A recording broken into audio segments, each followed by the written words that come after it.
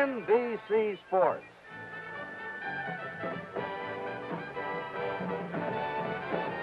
Brings you the final game of the 1968 World Series.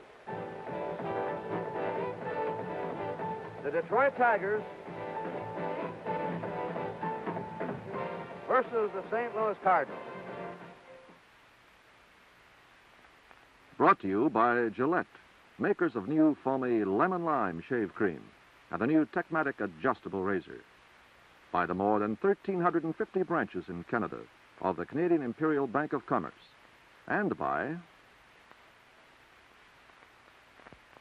Chrysler Canada Limited and the Dodge, Plymouth, Rootes, and Simca dealers who sell the quality engineered cars and trucks by Chrysler.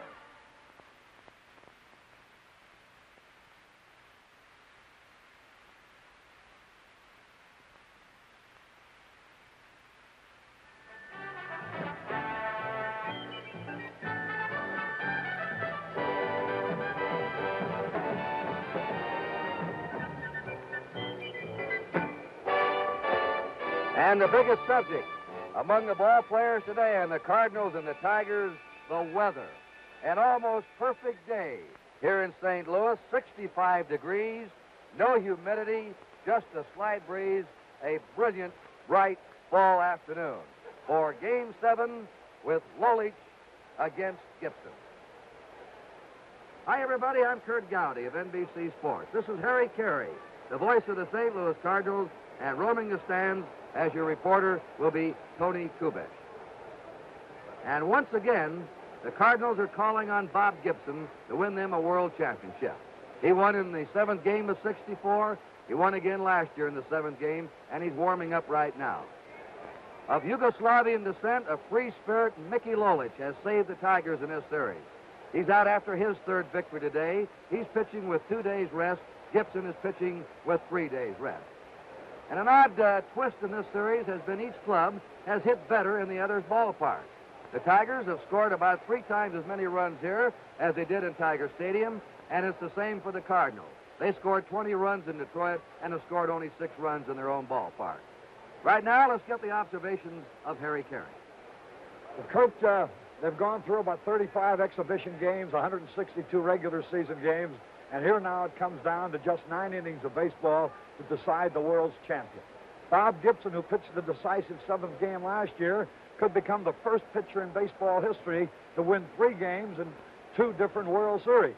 Mickey Lolich, who's been outstanding for the Tigers, makes it look like a tremendous pitching duel coming up. I don't know who's going to win this one, Kurt. I don't think anybody in the world could possibly know it. Around the field here, the uh, stands are being filled. There'll be another capacity crowd of better than 54,000 people. You know our ballpark now, I'm sure. 330 feet down the left field line. Over in left center, it's 386. And the Detroit Tigers find this ballpark just as friendly to their hitters as their home ballpark, even though this one is supposed to be much harder to hit home runs in. As Norm Cash said, though, Detroit's got the kind of hitters that doesn't make any difference about the ballpark.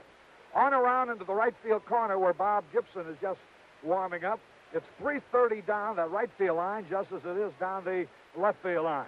A perfect day for baseball. You see Gibson getting ready in the right field bullpen, and across the way, southpaw Mickey Lolich for the Detroit Tigers. Kurt? Bob Gibson has allowed just one run in these two games. He shut the Tigers out here in the opener, and then he allowed them one run at Tiger Stadium. Mickey Lolich came back to even this series in the second game when he defeated the Cardinals 8 to 1. And of course, in the big game for the Tigers, the game that kept them alive, after allowing the Cardinals three runs in the first inning, he became stronger as the ball game went along. He shut the Cardinals out the rest of the way to win 5 to 3 and bring the World Series back to St. Louis. Lolich against Gibson.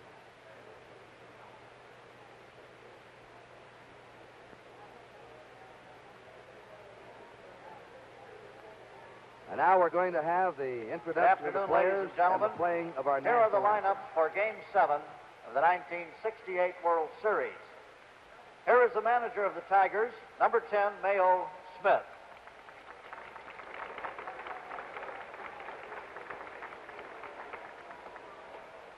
Batting first and playing second base, number three, Dick McAuliffe. Batting second and playing shortstop, number 24, Mickey Stanley. Batting third and playing right field, number six, Al Kaline. Batting fourth and playing first base, number 25, Norm Cash. Batting fifth and playing left field, number 23, Willie Horton. Batting sixth and playing center field, number five, Jim Northrup. Batting seventh and catching, number 11, Bill Freehan. Batting eighth and playing third base, number eight, Don Wert. Batting ninth and pitching, number 29, Mickey Lolich, is warming up in the bullpen. And here are the remaining coaches and players of the Detroit Tigers.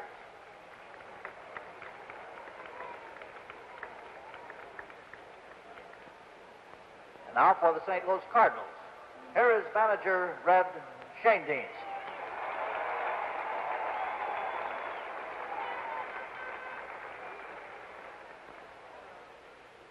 Batting first and playing left field, number 20, Lou Brock.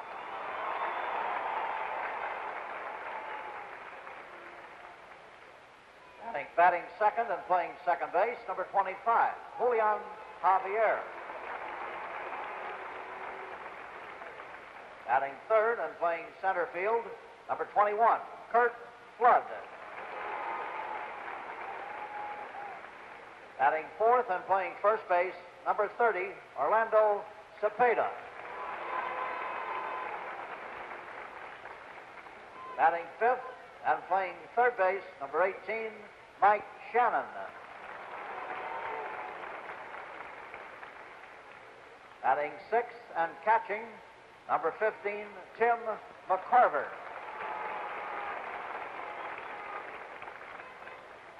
Batting seventh and playing right field, number nine, Roger Maris.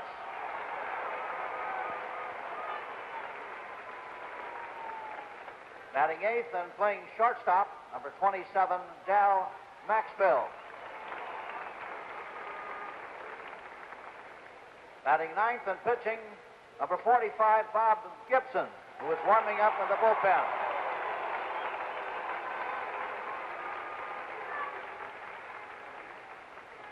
And here are the remaining coaches and players of the St. Louis Cardinals.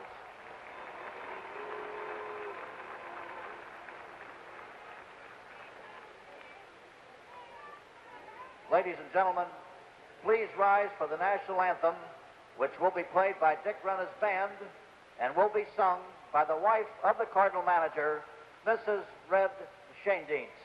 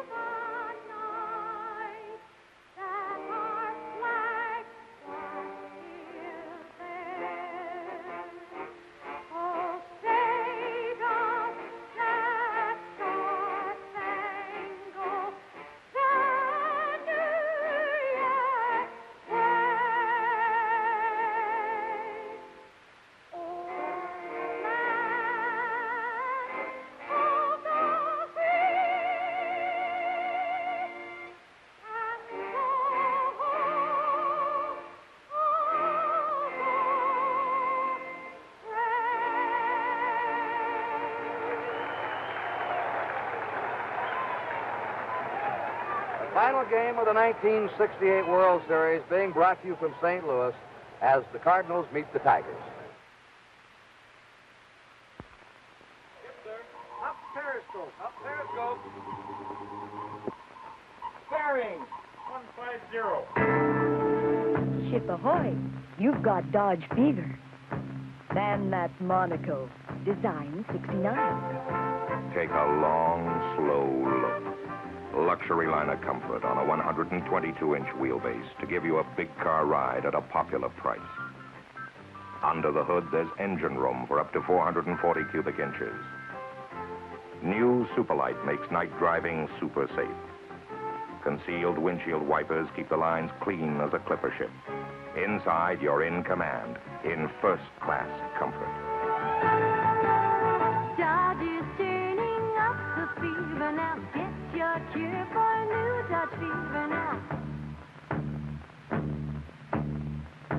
Dodge fever at your Dodge dealer. The umpires will be Tom Gorman of the National League behind the plate, Jim Honochick of the American League at first base, Bill Haller of the American League down the right field line, Stan Landis of the National League at second base, Doug Harvey of the National League down the left field line, and uh, Bill Kinnamon of the American League at third base are grouped around home plate with managers Mayo Smith of the Tigers and Red Schoendienst of the St. Louis Cardinals. The commissioner of baseball, William Eckert, you see Warren Giles, president of the National League, right next to him. Commissioner Eckert will throw out the first baseball, and he does, to catcher Tim McCarver of the Cardinals. Returns the baseball to him. I think they're going to do it again. Or, no, that's it. Doesn't need a retake this time, and the commissioner has the souvenir of the ball that he tossed into play. As Kurt told you, just an absolutely beautifully perfect afternoon for baseball. We pause briefly for station identification.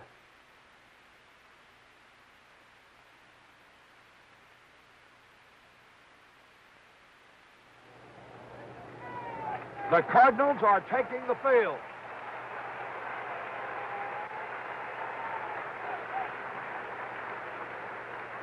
The lineups. Dick McAuliffe at second base for Detroit. Mickey Stanley at shortstop. Al Kaline, a big hero, in right field. Norm Cash having a great series at first base. Willie Horton in left field, the power man for the Tigers. Jim Northrup, the Grand Slam kid in center field. Bill Freehan behind the plate. Don Wert at third base. And Mickey Lolich will be the pitcher. There's the Detroit Tiger lineup. All set now. There goes Bob Gibson strolling out to the mound, trying for his third victory of the series. Crowd giving him a big hand.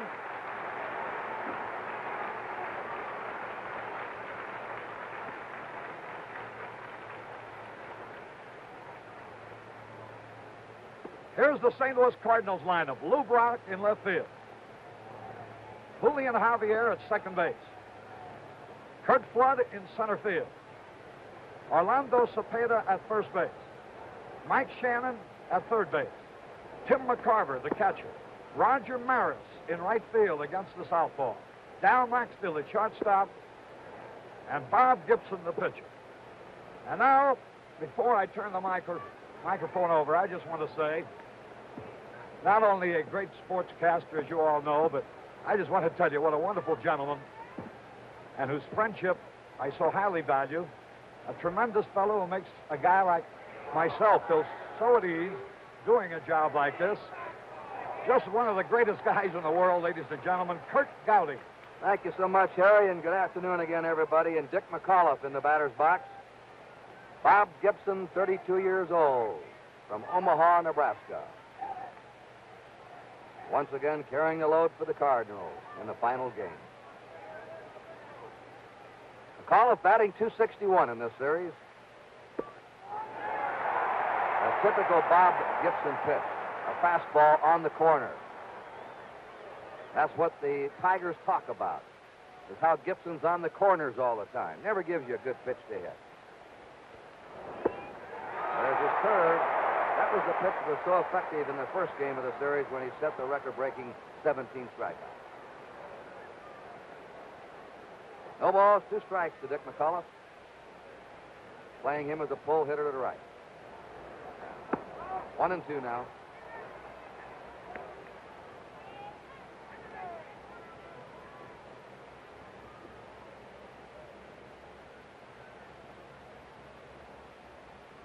Leave a gap in left center for him. Just missed that corner. Two and two. Gibson struck out 17 in his first start, struck out 10 in his next start. He's had beautiful control. He walked one in the opening game.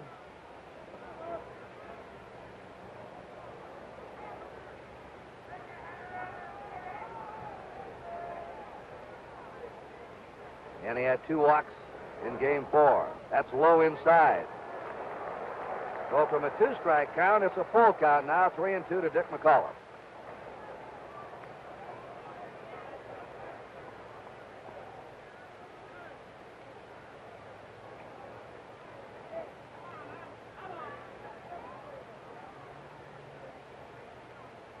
The 3 2 pitch on the way. A high pop foul. Cepeda squeezed right up against the box seats, leans in and has it.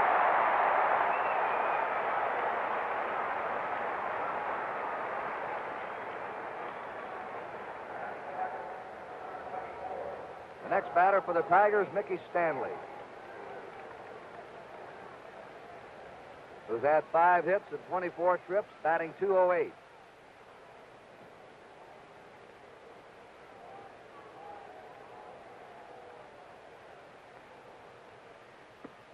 Right.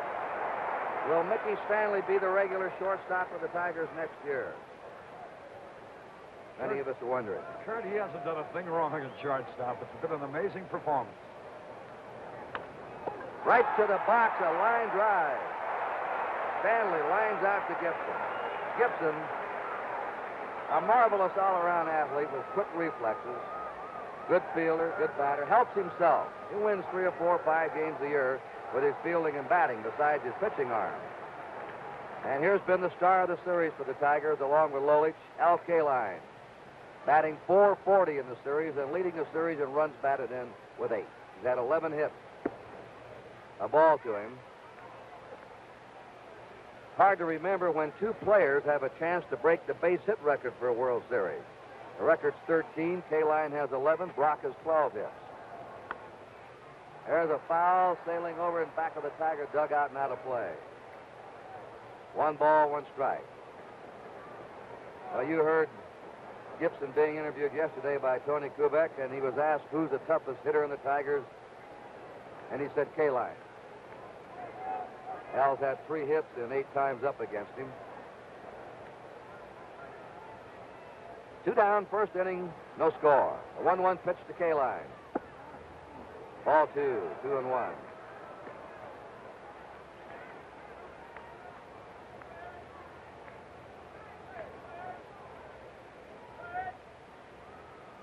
Pitching Kaline low in this series. The 2 1 pitch. Low outside, ball three. He hasn't had too many high pitches to look at, and not too many curveballs. A good curveball hitter. That low outside pitch, he's been going to right field and up the middle with it. Three and one. Norm Cash on deck. Fouls are back. 3 2 count. Bob Gibson was knocked out of the was not knocked out of the box once this season. That's how consistent he has been for the Cardinals. He pitched 13 shutouts during the regular season. There's strike three at third and quarter. Well, Gibson breezes through the first inning as he sets the Tigers down one, two, three. And at the end of the first half inning, it's the Tigers nothing with the Cardinals coming to bat.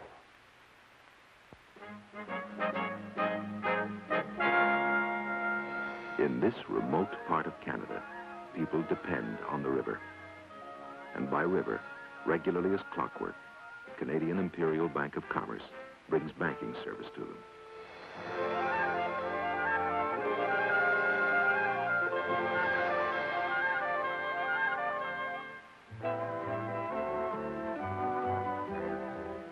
The SS Jean Briand is just one of the more than 1,350 commerce branches in this country. It's typical of commerce determination to make your banking convenient. Think how handy your own commerce branch is. Here's why. Because the commerce has more branches than any other bank on this continent. Bank of Commerce, Bank of Commerce. One of the world's great banks. Michael Stephen Lolich, 28 years old, trying for his third World Series victory. Study, Studying, he flips that ball as he lets it go, and actually he's quicker to the batter than it looks from the stand. He's what the ball players call sneaky fast.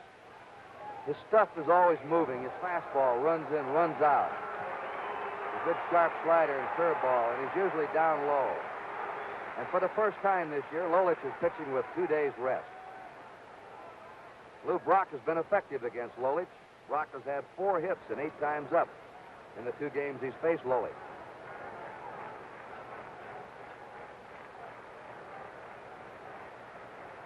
Brock batting 480 for the series.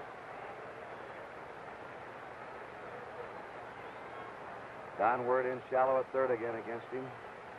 He's been going to left field almost exclusively against the left-handed pitcher in this series. The ball to him. Javier's on deck, and then Curt Flood.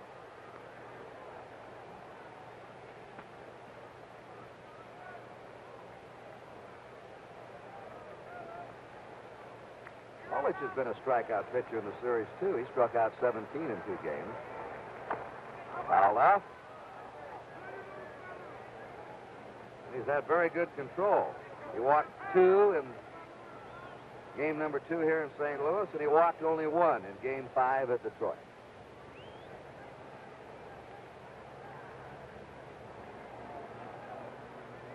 One ball, one strike to Lou Brock. No score, last of the first inning.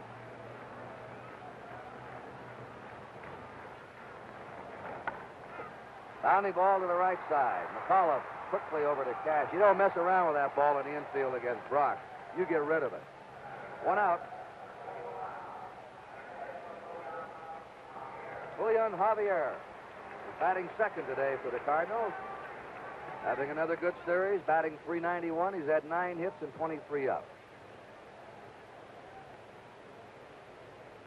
He hits left-handers very well uh, during the course of a season, doesn't he, Harry? Yes, I should say. Uh, about twice as well as he hits right-handers, and he has great power against them, Kurt. He can hit the long ball. One away for the Cardinals, nobody on. Fly ball to center field. Jim Northrup nearly tripped.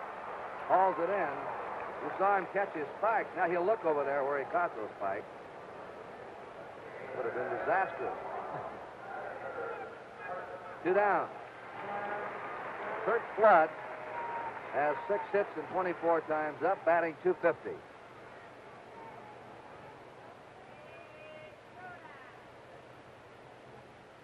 Usually when Lolich is right, they're hitting the ball on the ground against him when that sinker of his is working.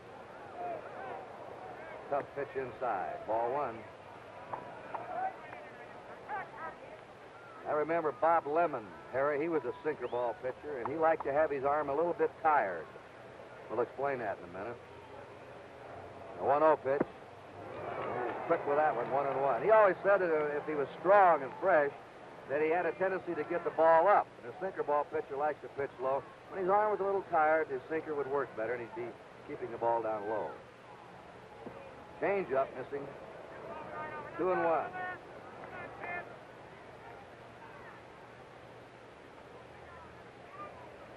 Two down, nobody on, no score, last of the first inning.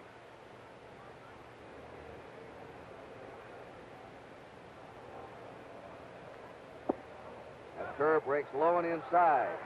Three and one to Curt Flood.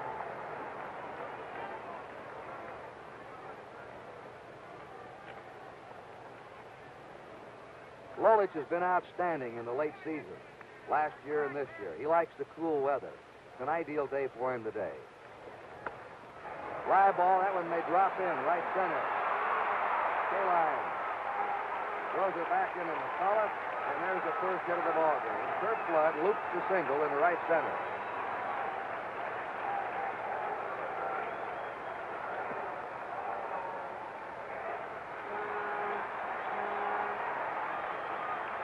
Orlando Cepeda has had seven hits in 25 times up, batting 280. He leads the Cardinals in runs batted in in this series with six. He's hit two homers.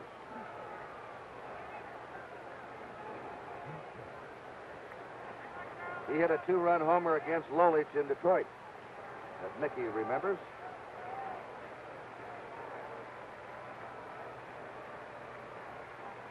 Flood getting his lead. Bounce foul down the third base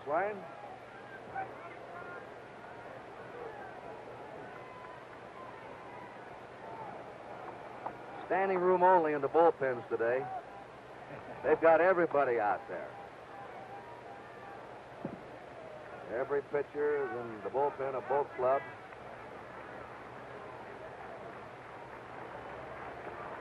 Flood on first. Lolich gets him back.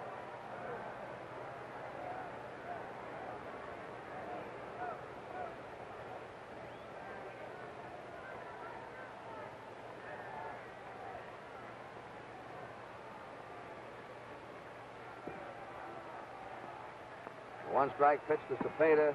Low. One and one.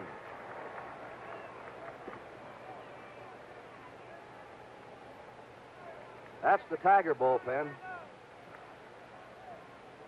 Out in deep left center. The Cardinals are in right center. The Tiger bullpen in the sun and the Cardinals in the shade.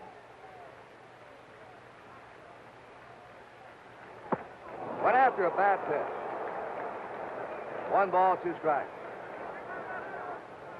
And uh, there's the Cardinal bullpen.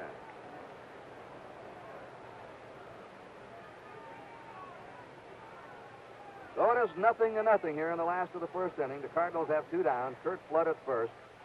A one ball, two strike count to Orlando Cepeda. They're deep and straight away for him.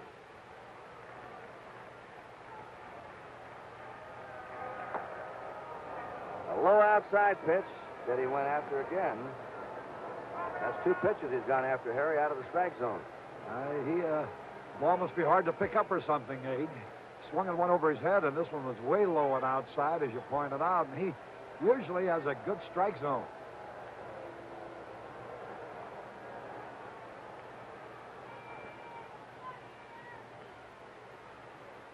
Curt Flood at first, two down.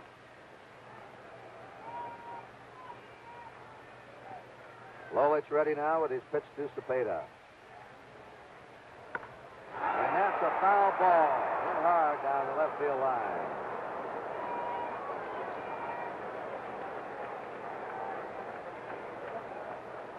One ball, two strikes.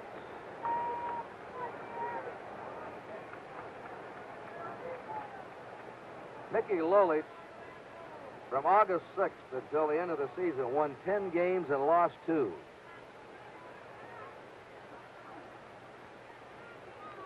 Year before, he won nine out of his last 10 decisions from August, uh, the second week of August till the end of the season. Foul ball driven down the right field line. Stands. That's why they play Cepeda straight away. He can drive the ball to all fields with power.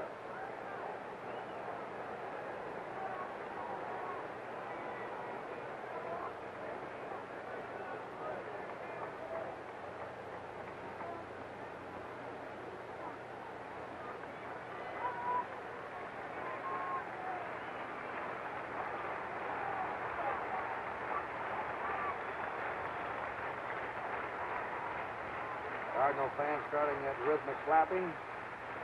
A one-two pitch. Curve breaks low inside.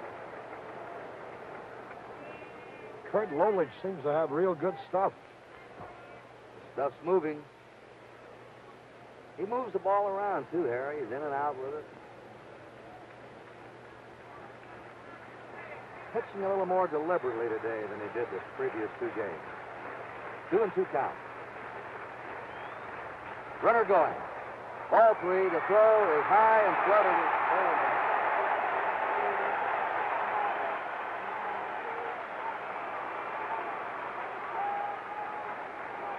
Let's watch it in slow motion. Bill Freehan had a very tough pitch to handle. His throw is high and Flood is in there, as you can see, but he had to pick that pitch right off the hitter's shoe tops.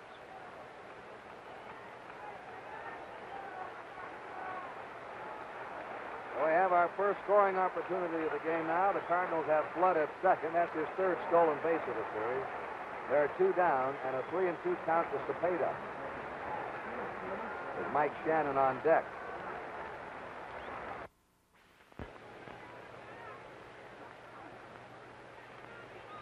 The year before, he won nine out of his last ten decisions from August, uh, the second week of August till the end of the season.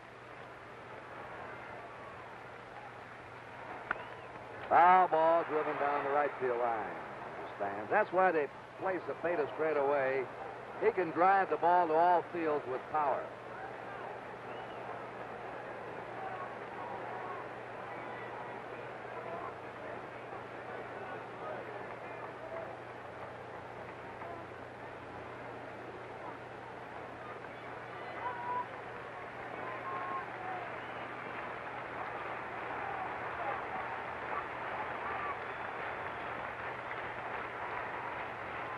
Cardinal fans starting that rhythmic clapping. A one-two pitch. Curve breaks low inside. Curt Lolich seems to have real good stuff. Stuff's moving. He moves the ball around too, Harry. He's in and out with it. Pitching a little more deliberately today than he did the previous two games. Two and two count. Runner going. Ball three. The throw is high and flooded.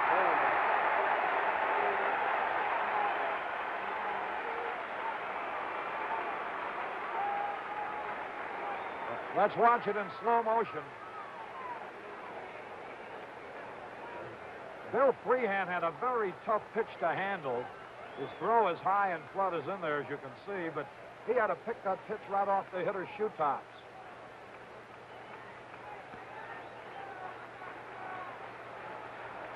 We have our first scoring opportunity of the game now. The Cardinals have Flood at second. That's his third stolen base of the series. There are two down and a three and two count to Cepeda.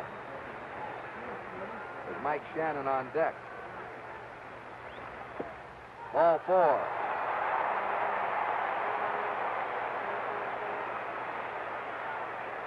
Lolich worked very carefully to Cepeda.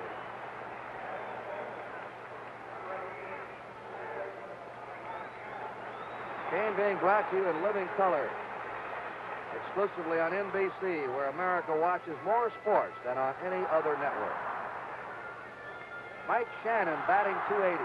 Seven hits, 25 times up.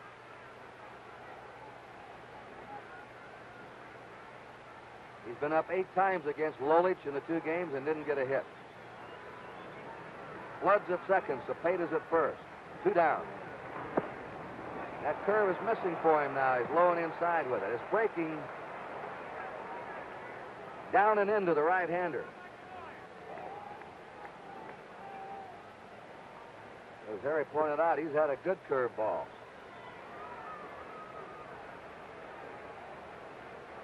One ball, no strikes.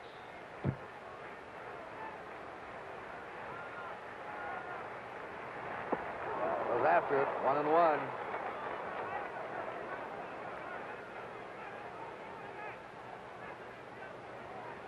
There's Flood at second. Cepeda's, come on, Mike. He's at first. They're playing off the bag against him. He'll get a big lead there.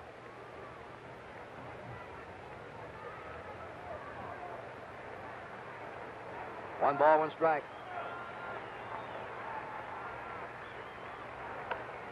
There's a drive in the right center. Kaline's over in front of it and has it for the out. He's been all over that right field area in this series. No runs, one hit, no errors, two left. At the end of the first inning, it is nothing to nothing.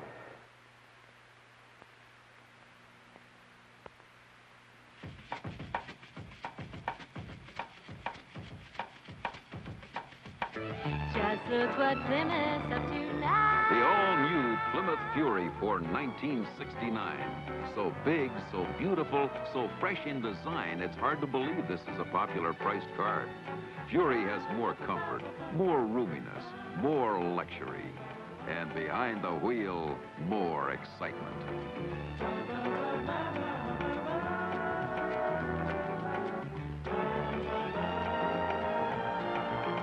Just look what Plymouth's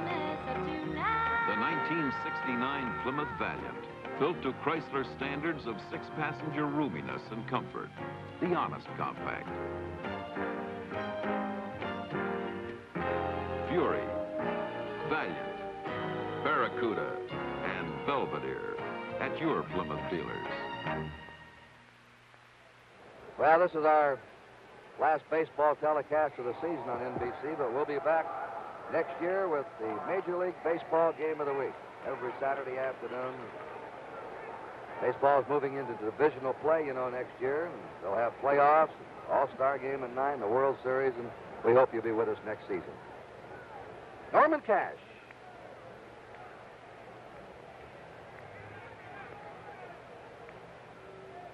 A solid World Series for him. He's batting 409.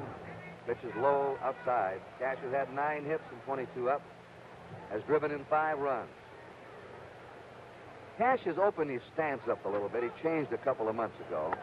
Fouls it off. He had one year when he hit 360, won the batting title. He said he tried to pull everything since. And this year, he's hit over 300 the last two months of the season, and he attributes it to that change in stance. Fouls it back.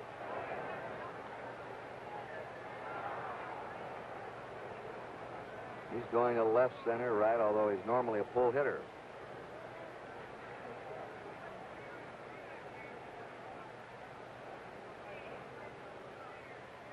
Cash says, well, I hope we win, naturally. Because I know one thing, we haven't embarrassed ourselves. There's a high fly ball into right center. Maris and Flood, it's Maris calling for it for the grab. One down. Willie Horton, five hits and 19 times up. Batting 263. He's had one home run, and that's been right here. Titanic shot into the center field bleachers.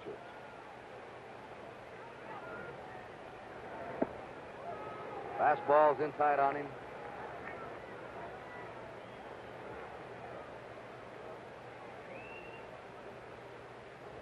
Nothing to nothing in the top of the second. Foul back. Gibson's throwing hard as usual. The two uh, coaching at first, Wally Moses, and over at third is Tony Cuccinello.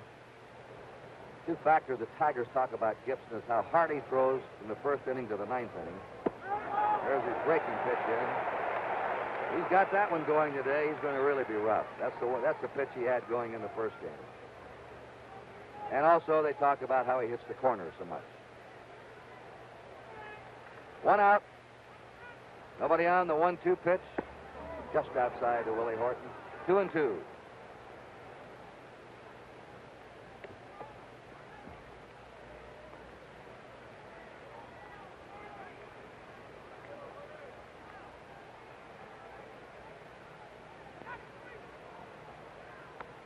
Fouls the breaking pitch back. That hung up over the plate for Horton that time. He had a murderous swing at that one. One away, bases empty. Two and two to Willie Horton.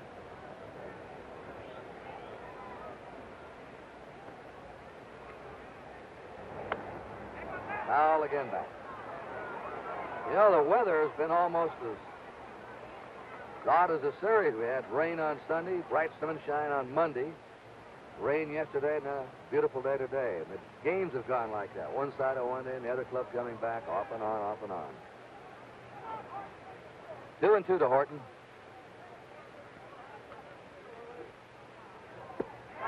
Strikes out curve. Tried to hold up, couldn't do it. Bob Gibson now is two strikeouts away from tying his own record of 31 strikeouts in a World Series. That was a record he set in 1964 against the Yankees.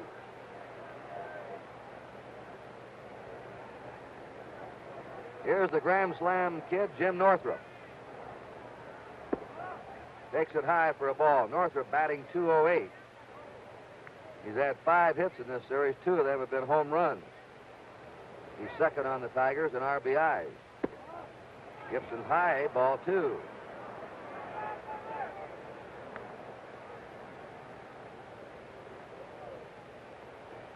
Two down, nobody on. The score, nothing, nothing. Top of the second. The 2-0 pitch. His fastball is through. Strike two and one.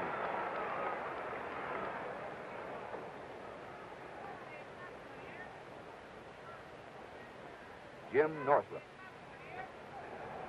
Fouls it back. Two and two.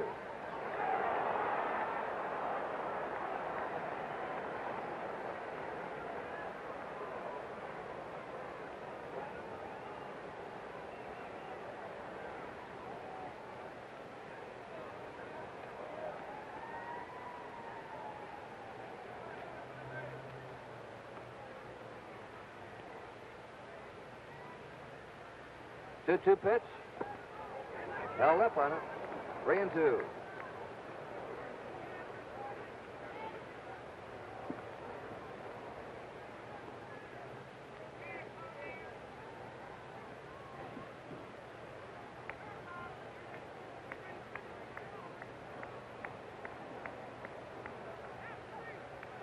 Three-two pitch.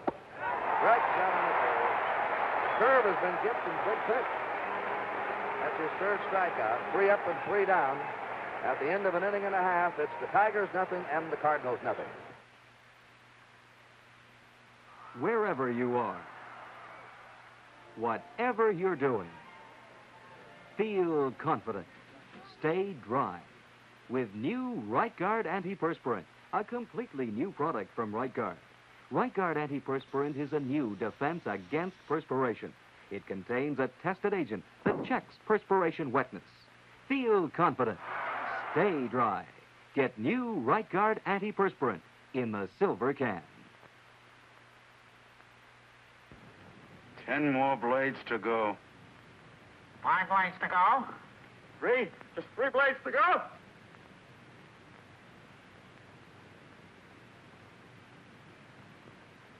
That's it? I used up all the old blades? Now I can use the new Gillette Super Stainless Steel blade with the miracle plastic coating on the edge. They say it's supposed to spoil you. The spoiler. Tony Kubek. Thank you, Curt. You know, anytime the Cardinals need the big game, they call on Mr. Bob Gibson. Mrs. Bob Gibson, Charlene, you must be quite proud of your husband. I sure am. It's quite a responsibility on his shoulders. And on mine, this is the third time I've stepped through something like this. I guess you'd like some runs quick, wouldn't you? I sure would. Like right now. Charlene, thank you so much. Now let's go back upstairs to Curt and Harry. Hmm. Tim McCarver, Roger Maris, and Dal Maxvill. They'll be up for the Cardinals against Mickey Lolich in the last half of the second. McCarver, 8 out of 24, a 333 World Series average.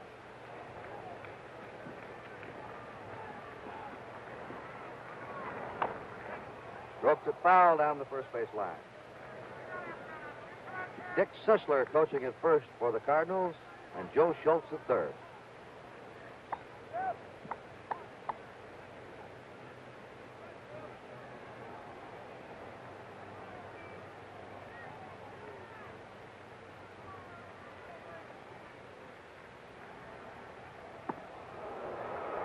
One and one to McCarver, who's had only one hit and seven times up against Lolich.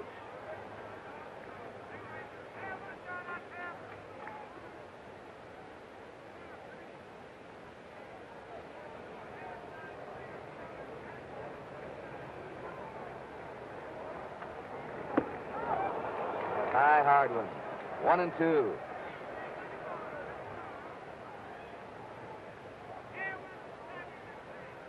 Cardinals were getting some airline tickets and passports today. They're going to Japan to represent the major leagues after the World Series, making the annual tour of Japan that one of the United States teams does every year. How's it back. Nice catch of a souvenir in back of us.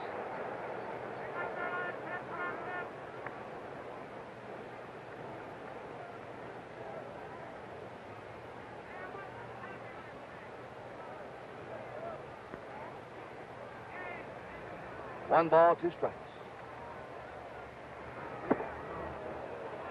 Carver started after that uh, high fastball, two and two. Lolich is pitching him high. He's usually down low on the rest of them. Two and two. Watch Freehan spot that catcher's mitt.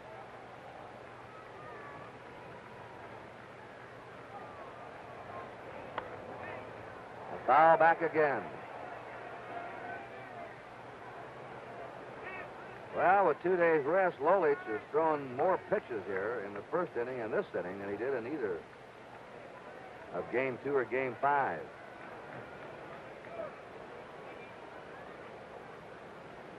Cardinals had two men on against him in the first. Now it's a 2-2 count here to McCarver.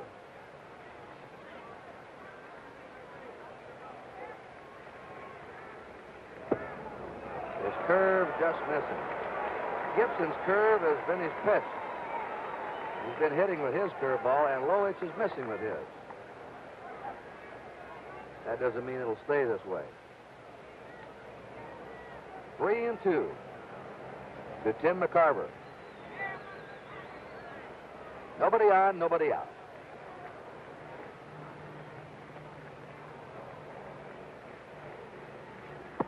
He walked it. A second walk by Lolich. Roger Maris has been platooned in this series until game seven.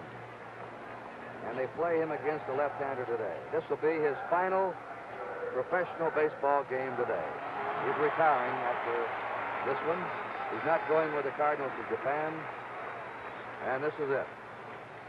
And so will it be for Eddie Mathews of the Detroit Tigers after a long and wonderful career, both in the National and American League. Eddie Mathews will retire from baseball after this game. They've both have bruised up a few pitchers in their time. Yeah, they've hit a few balls out of the park. McCarver on first, nobody out. The score, nothing, nothing. Last of the second. Roger Maris, the batter. And there's Lolich's curve missing again. And now they have, uh, I believe, sent the call to the Tiger bullpen. I see some stirring around out there.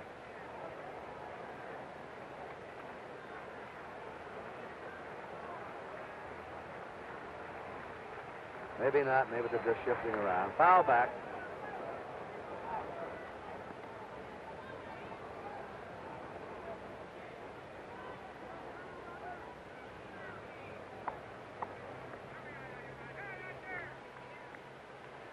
One ball, one strike to Maris. That's McCarver on first. Nobody out. Nothing to nothing. Last of the second.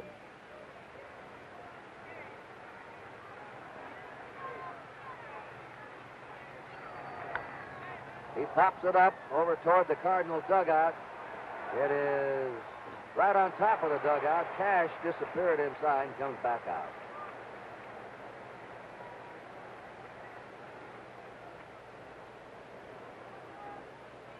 Dick Sisler gives him a rib.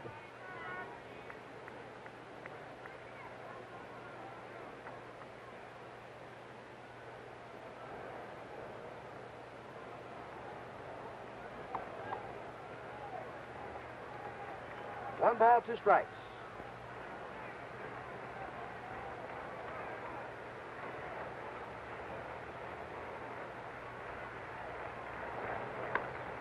Line drive on one hop to Stanley, steps on second, throws to first, double play.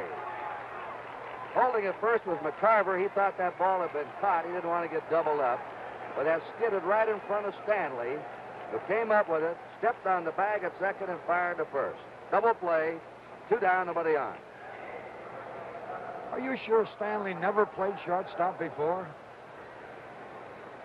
Well, there's two uh, former shortstops in this ballpark today. Pee Wee Reese over in radio, Marty Marion in the Stadium Club.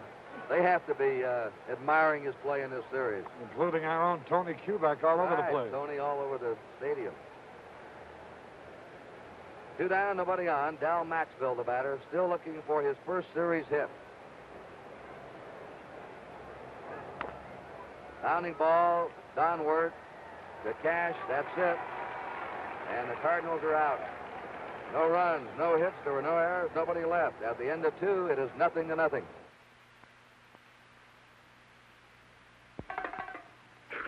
Oh, I'm so nervous. What if I got Dodge fever?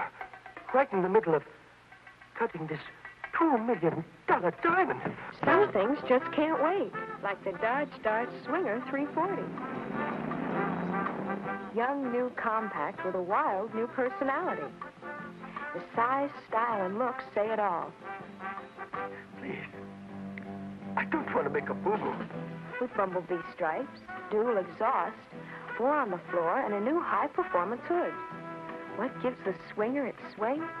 340 cubes of V8.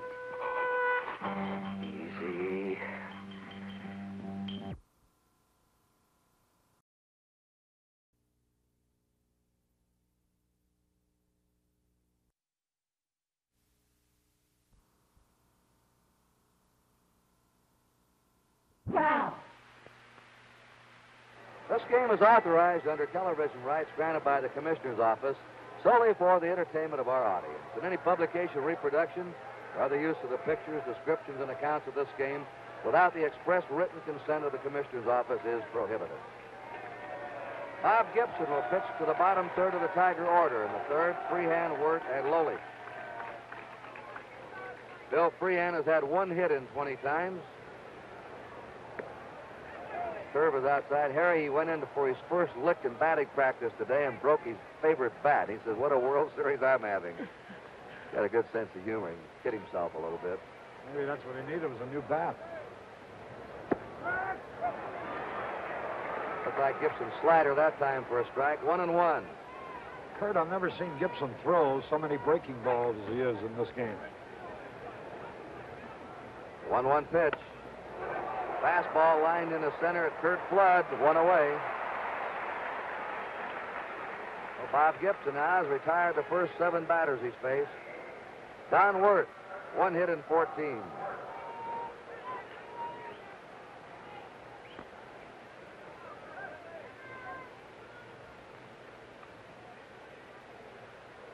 They play Wert to swing late, to hit to the opposite field. In center and right and leave left center open for him. That's a strike. There you can see Flood over in right center. Now notice that big gap in left center. With Lou Brock playing in straight away and left. Overpowers him with a fastball, strike two. Uh, Bob Gibson has the reputation. If you don't get him early, forget it. He gets stronger as the game goes along.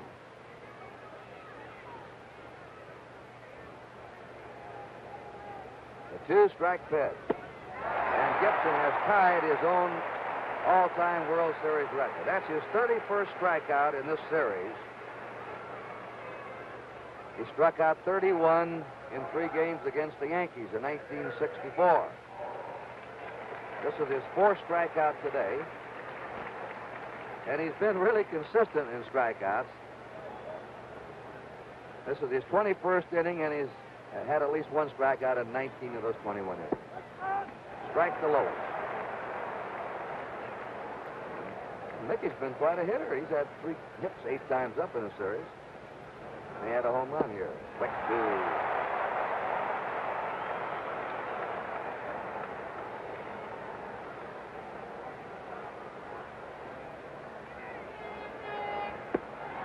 And he just broken the World Series record.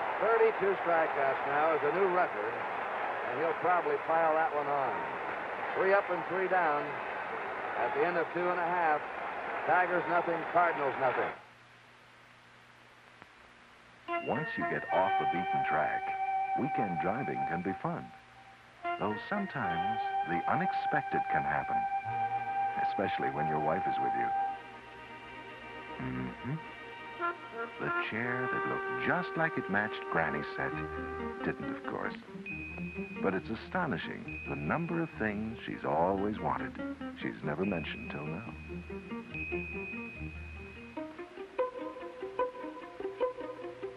That's when it's nice to have cash on hand at the Commerce. Cash for spending, cash for saving. The Commerce checking account plus savings account gives you the best of both worlds.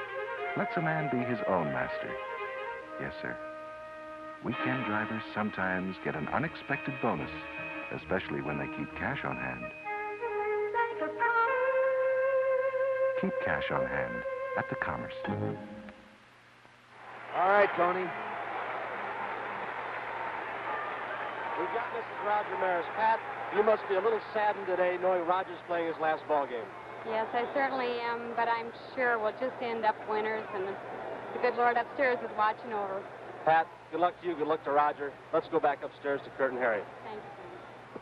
Bob Gibson had a standing ovation, especially when it was flashed on the scoreboard about his World Series record. He's now broken two World Series records in strikeouts, 17 in one game, and the most strikeouts ever in the series, breaking his own. Ball two to Gibson. Lolich has walked two. Lou Brock's on deck at the top of the order, and then Javier.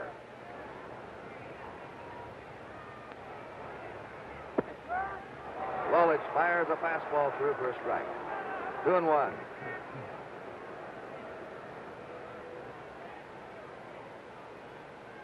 Gibson dangerous with the bat for a pitcher.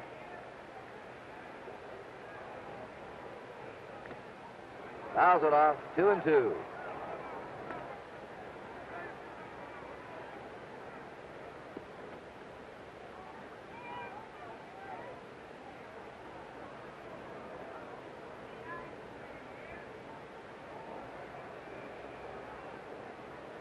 He's the only pitcher to ever hit two World Series home runs. He's had two. There's a chopper being charged by third baseman Wert, who throws him out easily, and there's one down. Lolich jammed him on the fist with a fastball. Wert hasn't hit much, but he's played a steady third base. Lou Brock grounded out his first time.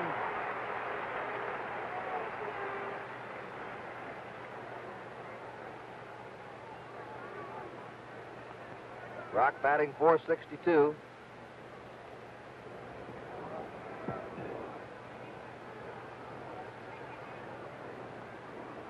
He has the highest lifetime batting average of any player who's played, and this is for World Series competition. Any man who's ever played in the series. There's a good curve in the corner for a strike. Nothing to nothing. The Cards have one out, nobody on, last of the third.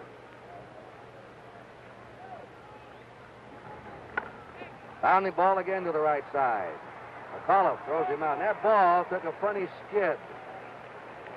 We've had several bad hops in the series, and they've all been headed toward the second baseman. Well, they say keep Brock off the bases. Lolich has done it twice. I was thinking the same thing. Still today, every time you look up, he's been on somewhere. Javier flied out his first time.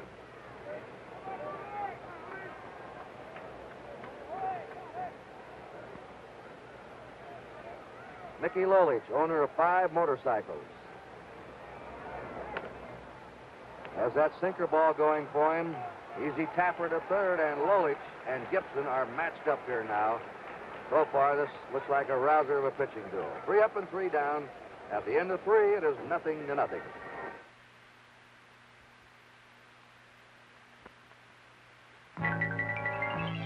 Just look what Plymouth's up to now. Meet the beautiful 1969 GTX, one of the exciting Plymouth Belvedere line that includes Roadrunner and Sports Satellite. GTX is all sport, all luxury and comfort.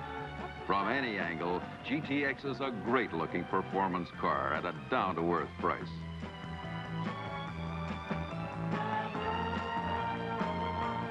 Just look what Plymouth got tonight. The sporty Plymouth Barracuda has a look and a personality all its own. A personality you can mold to match your own with a list of options as long as your arm. Fury, Valiant, Barracuda, and Belvedere at your Plymouth dealers. This is Curt Gowdy with Harry Caray, Tony, Kubek from St. Louis. I'll straighten that out next time, Tony. Dick McAuliffe fouled out his first time, batting 250. We're at the top of the Tiger batting order now. McAuliffe, Stanley, and Kaline. Gibson. There's a high drive to right field with Maris backing up just a bit. One away. So the first 10 men up for the Tigers have gone down.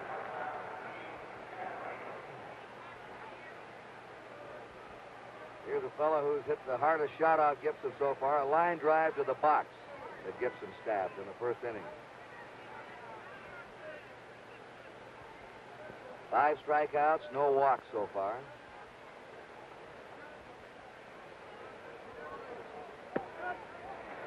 Strike. Lolich looked a little wobbly in the first inning, but he's breezed the last two innings.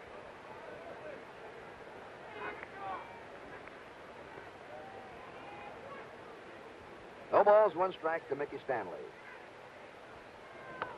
Now back. The count quickly goes nothing in two.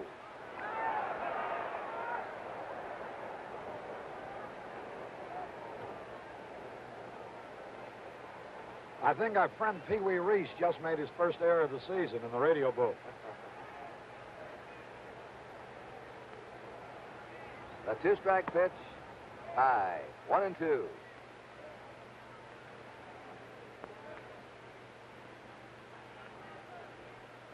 Gibson is bearing down now on another record. Most strikeouts lifetime in a World Series. Ground ball in the hole. Maxvill has a long throw, and he, he couldn't straighten up and let it go. He caught his spikes. That is a single, an infield hit for Mickey Stanley. Looks like he's hurt his right foot or his leg. Well, there's the first base runner for the Tigers. That would have been a tough play for Maxvill anyway because Stanley can run. Maxvill had a long throw from deep in the hole.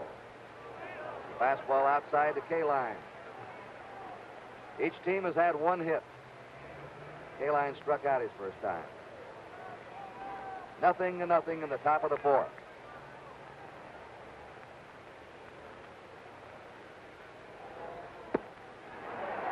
Cutting away at a fastball. One and one. Curt, you mentioned what a good fielder Gibson uh, is. What makes That would have been a tough play for Maxvill anyway because Stanley can run. Maxvill had a long throw from deep in the hole. Fastball outside the Kaline. Each team has had one hit. Kaline struck out his first time. Nothing and nothing in the top of the fourth.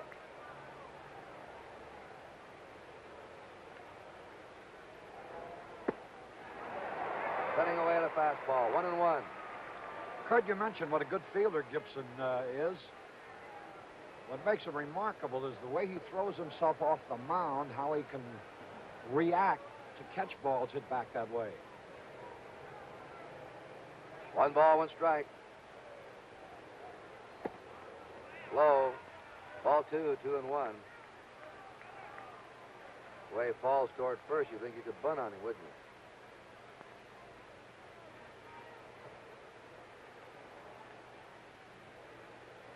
Two and one to Kaline. Stanley on first, one out. Foul. Two and two. Here in slow motion, we'll get an idea of how he falls off that mound. Watch his body.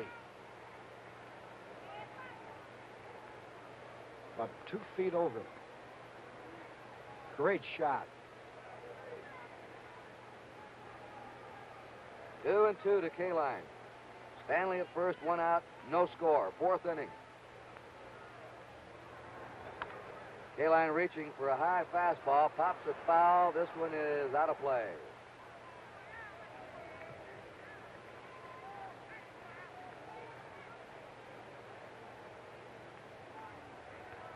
Whitey Ford has 94 strikeouts in his lifetime in the World Series. Gibson now has 89.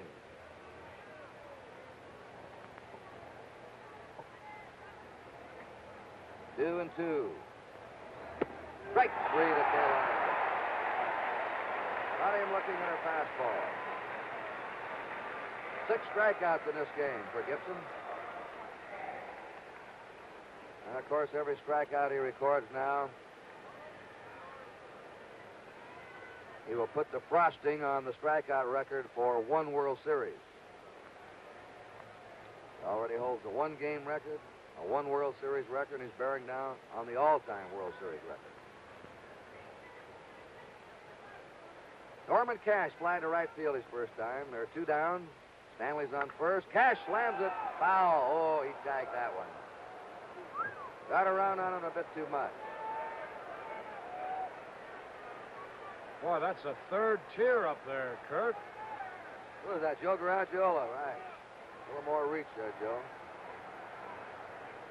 It's Ed Macauley, I believe, who's got it. Ed Macauley. Well, he had a pretty good stretch up there in those rebounds in basketball. Cash ripping away at a fastball, nothing in two. Tigers in the fourth have two down. Stanley at first, no score.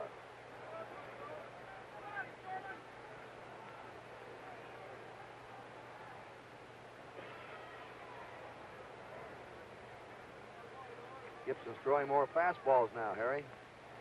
He frequently does that. Goes along with a pitch that's particularly effective for him and then changes to other pitches. Pitch out. I think what happened, Curt, the first few fastballs he tried, they weren't exactly the Gibson fastballs, so he went to his breaking ball, his curve and slider. Now apparently his fastball, he's found his fastball again. One ball, two strikes to Norm Cash.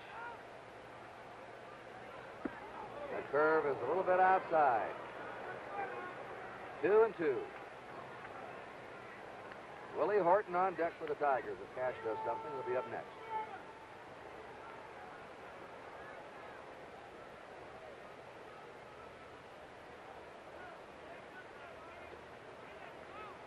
Two-two pitch on the way. Ground ball to the left side. Shannon's up with it. His throw to first is in time by two strikes. And the Tigers are retired in the fourth. They had no runs, one hit, no errors, one left. At the end of three and a half, Tigers nothing, Cardinals nothing. If you've been looking for a lime shaving cream that's not too sweet, Gillette Foamy has what you've been looking for. Because Gillette Foamy has this the lemon lime. It's part lemon, part lime. The essence of the lemon keeps the tang in the lime. And that keeps this shaving cream from smelling too sweet. Gillette Foamy with lemon lime. Wait till your face gets a taste of it.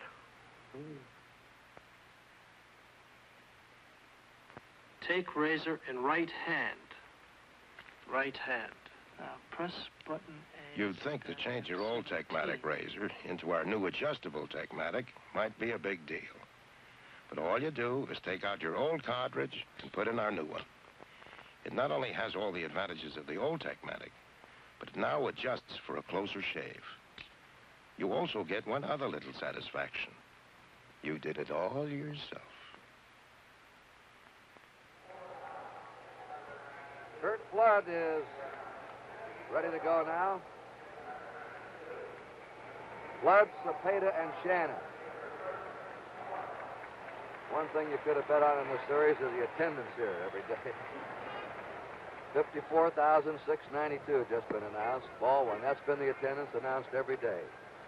That's everything they can sell, including standing room. Mickey Lolich. Pitching to Curt Flood. The count one to nothing. High, ball two. Flood single to right his first time. He has the only hit off Lolich.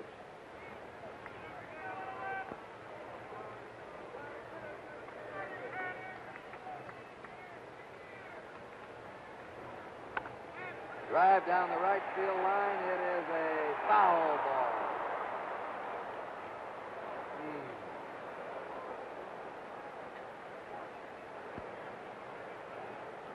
A game of inches, isn't it?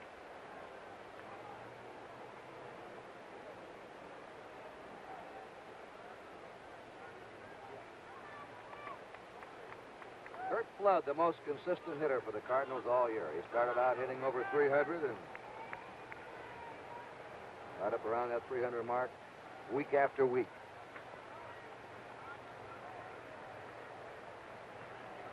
Nobody on, nobody out. A 2-1 pitch to him.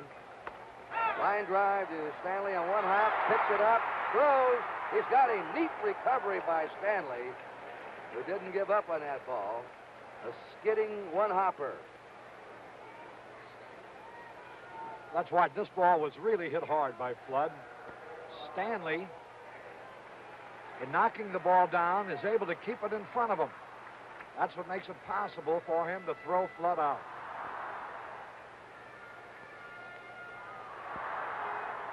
That sidearm throw, Harry, but he put something on it. Just going to say, he gets a lot on his throw. He threw out a fast man flood. Cepeda drives it foul down the right field line into the seats. One out, nobody on, nothing, nothing. Last of the fourth inning. Lolich perhaps has not been as spectacular as Gibson with all the Gibson strikeouts so far, but Lolich is getting his job done too. Bounding ball. Nice stop by Wert if he can come up with it. His throw. He's got him. That was a tough play. Off to the left. The second hop was coming up sharply to him. And he hung with it and threw him out.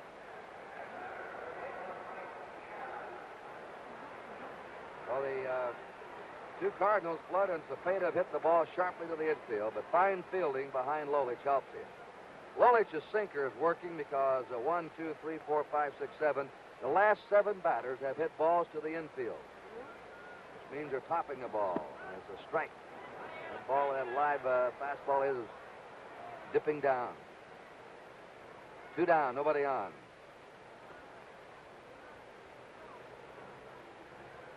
Mike Shannon. Fouls it back. It's nothing and two to Shannon.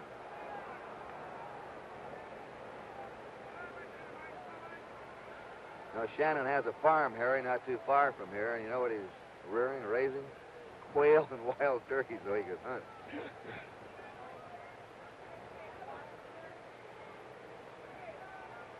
Expensive hobby. A 0-2 pitch. Struck him out on a high fastball, and Mickey Lolich continues to match Bob Gibson. In goose eggs here, three up and three down at the end of four, nothing to nothing. You see that statue? They picked me to bring it in. I handle my cranes with finesse. As long as I don't get Dodge fever, no sweat. Right? Right. It's a thing of beauty, isn't it? 1969 Dodge Charger SE. Charger excitement in a stunning new special edition. Packed with extras that aren't extra on this one. So far, so good. In here, a world of vinyls and leathers and wood grain luxury. A new front grille just for looks, and an optional 440 Magnum V8 just for kicks. Easy. Oh, no.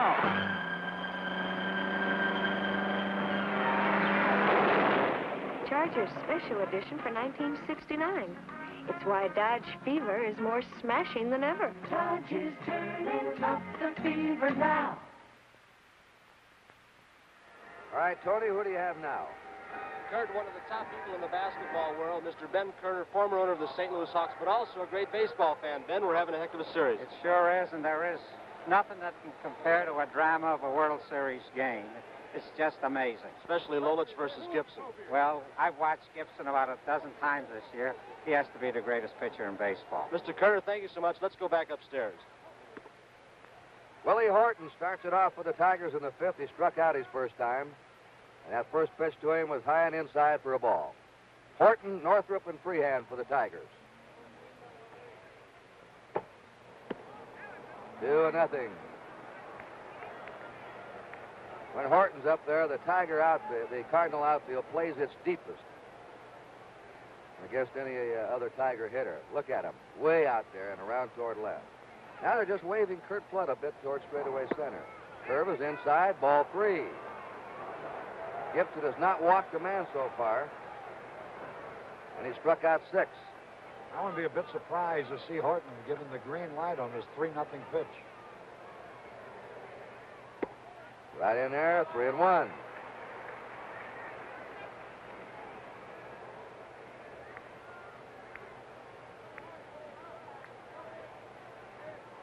One pitch to Willie Horton. Back to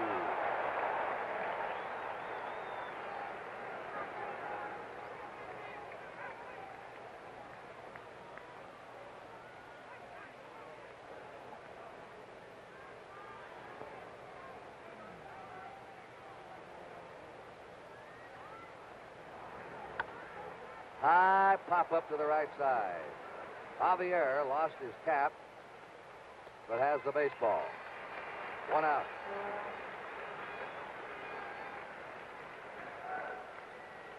Jim Northrup struck out his first time.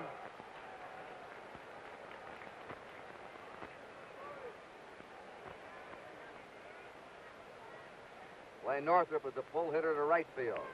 Nothing to nothing in the fifth inning. A ball. Each team's had only one hit. The only base runner for the Tigers has been Stanley, who had an infield hit in the fourth.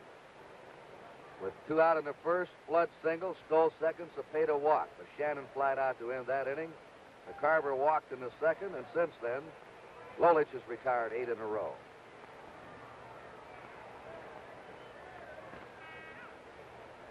One nothing pitch. There's a pop foul down the left field line. Everybody racing for it, and Shannon going away has it. Boy, what plays we're getting in this game. Now, this is the way to cap off the series with a brilliantly played game like this, Harry.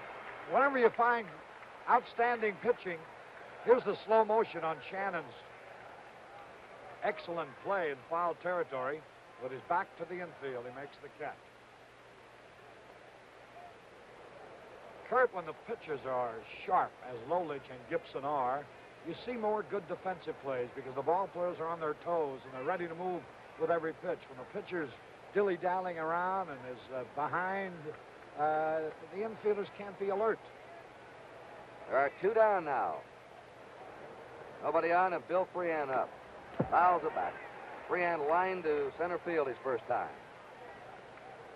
No runs, one hit for the Tigers. No runs, one hit for the Cardinals.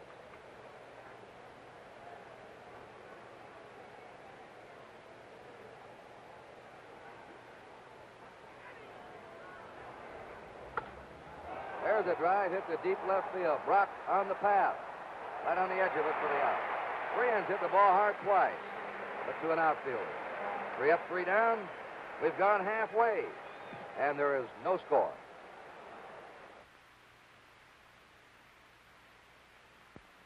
This was Canada, 1867.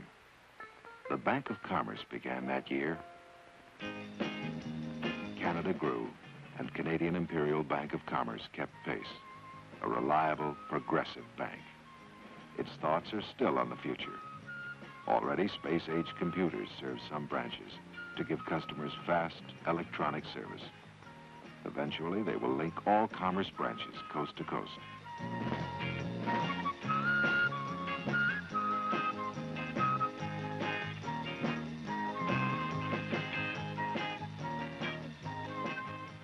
Also for the near future, commerce cash dispensers. Conveniently located so that you can get instant cash day or night. Bank of Commerce, Bank of Commerce, Bank of Commerce, Bank of Commerce. One of the world's great banks.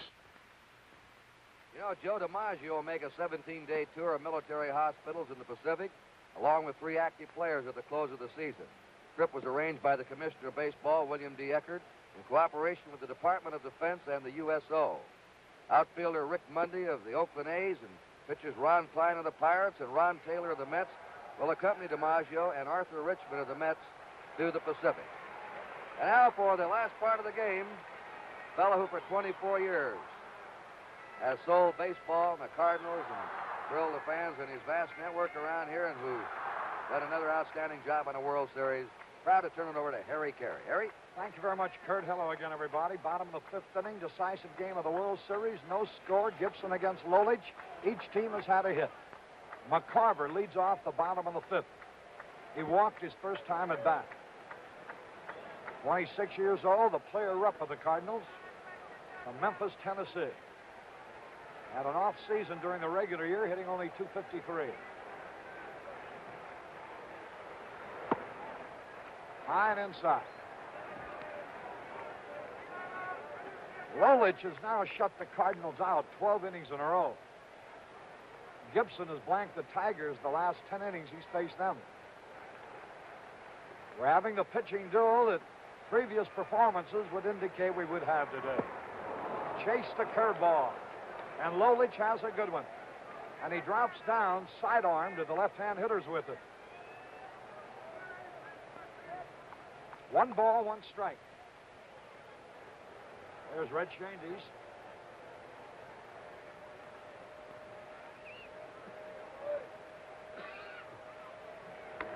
Hit hard past Stanley in left field. That ball took a skipping hop. Didn't come up for him. And it'll be a base hit for McCarver. That's Tim's ninth hit of the series. And here's Roger Maris, and the Cardinal crowd now has become alive.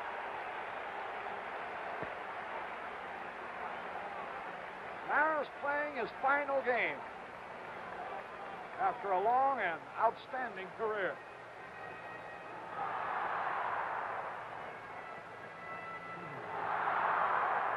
Thirty-four years old.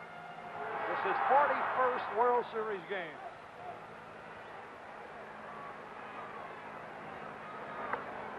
Pulls the ball foul. Rod was the one of the hitting stars of last year's World Series. But the Tigers have held him well in check. He's had only three out of 17 against them. Stockily built, good power. This is seventh World Series.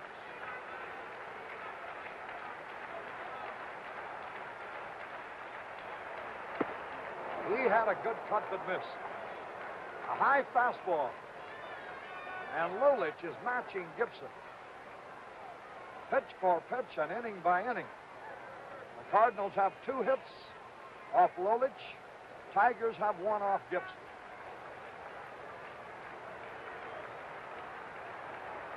Carver a lead. Curveball inside. Five of his World Series Maris were with the Yankees. He's been with the Cardinals two years. He's played in two class- classics. McCarver can run for a catcher.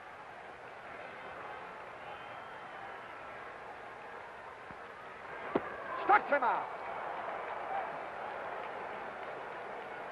For Lolich, a second strikeout.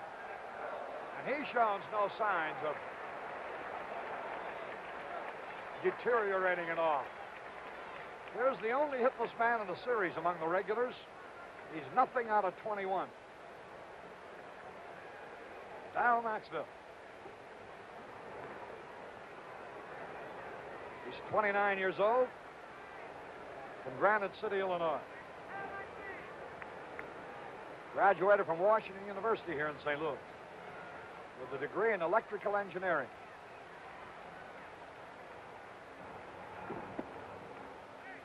Curve is high and outside.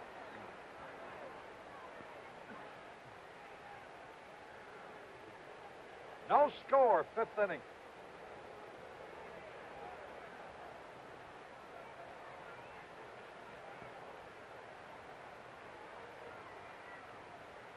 There goes McCarver. Swung, popped up. McCarver will have to return in a hurry. Cash in foul territory makes the catch, throws late. to McAuliffe covering first base. They were decoying McCarver, who was running with the pitch. The hit run was on. Decoying him into thinking the ball had been hit on the ground. Listen to the ovation now for Gibson. There was a runner going. Now he starts back. They had yelled to Cash to get rid of it as quickly as he could. He nearly throws it away here, by the way. McAuliffe, the second baseman covering, has to reach out. Gibson has hit a home run in this World Series. He hit one in last year's World Series.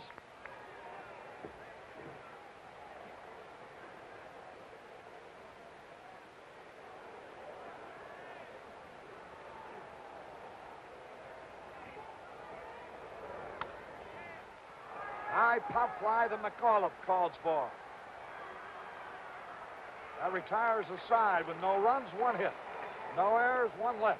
And at the end of five full innings, it's still Detroit nothing.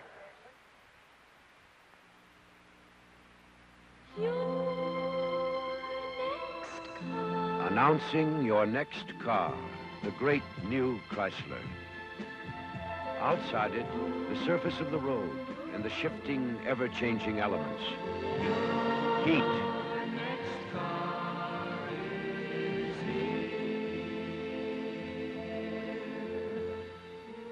the wind,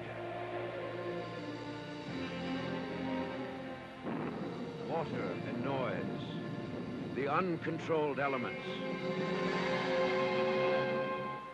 Inside your next car, a controlled environment, a quiet cockpit where miniature memory systems monitor and complement your every driving habit.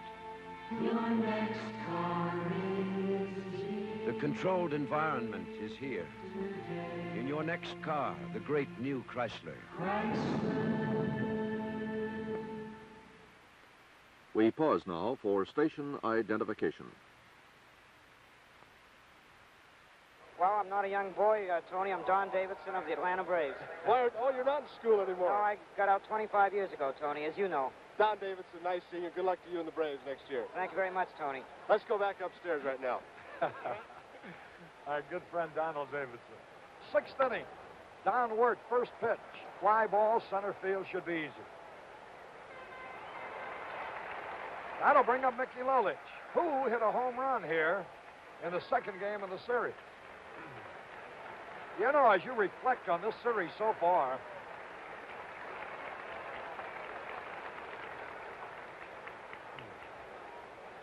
the performance of Lolich becomes even more outstanding. He has kept his team in the series to a point where they could win it all right here today. Not even to mention, there's a smash. Javier on one hop will throw him out. Ball was hit hard. To think what the audience would have been deprived, Curt, if Mickey Stanley had not been able to play shortstop. To think that an Al Kaline would not have been in this World Series is almost a tragedy. That's right. And one thing the Cardinals talk about Lolich is after he gave up the three runs in the first inning of Game 5, the way he battled back and held on. They said that's what showed them what a good pitcher he was. Dick McAuliffe, the second baseman, takes a curve in there, a strike call. McAuliffe fouled out and flied out. He's had six out of 25 in the series. Hit 249 during the season with 16 homers. Evens it up, a ball and a strike. Gibson's pitching like he has a plane to catch. He always pitches this way. He averages about a two-hour ball game. The 1-1 pitch. And it's high.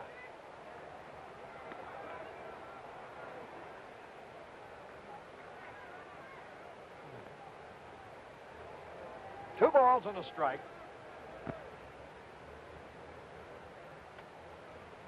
They play McAuliffe to pull, and he pulls one off his leg foul.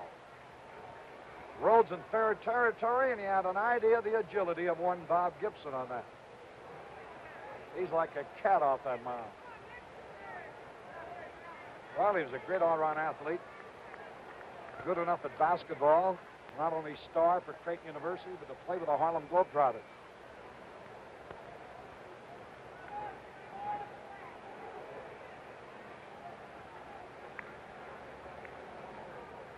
Two-two pitch. No score in the sixth. There's a fly ball, deep, but it'll be caught. Flood waits. One, two, three, nothing across. At the end of five and a half innings, it's still Detroit nothing, St. Louis nothing. Wherever you are, whatever you're doing, feel confident. Stay dry with new Right Guard Antiperspirant, a completely new product from Right Guard. Right Guard Antiperspirant is a new defense against perspiration. It contains a tested agent that checks perspiration wetness. Feel confident. Stay dry. Get new Right Guard Antiperspirant in the silver can.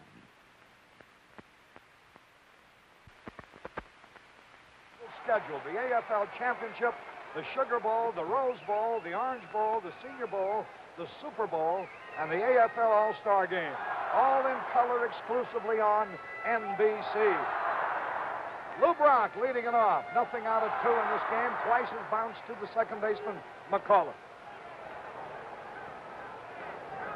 He was going to bunt. One ball, no strike. Lolich has been going directly sidearm to Brock, feeding him a lot of sidearm curve. Wert playing very shallow at third base to guard against the bunt. Again, he's wide with a slider. Two balls, no strikes. Lou Brock leading off, no score. You have the feeling that a run will do it. Which team will get that run?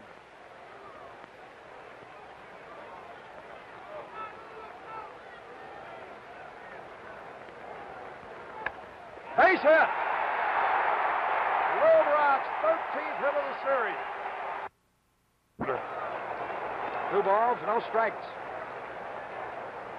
Lou Brock leading off, no score. You have the feeling that a run will do it. Which team will get that run?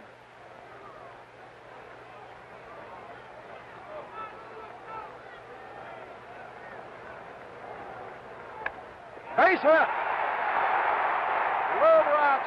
14th hit of the series. That ties Bobby Richardson's record for most hits in a World Series. Now Javier comes up. Nobody out. That's the second inning in a row that the leadoff man has had a base hit. McCarver let off the fifth, but nothing happened.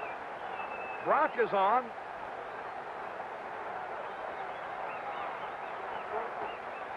Will he attempt to steal?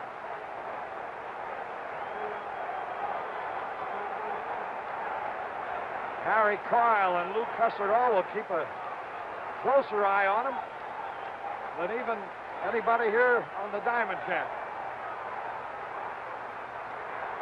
Pitch out.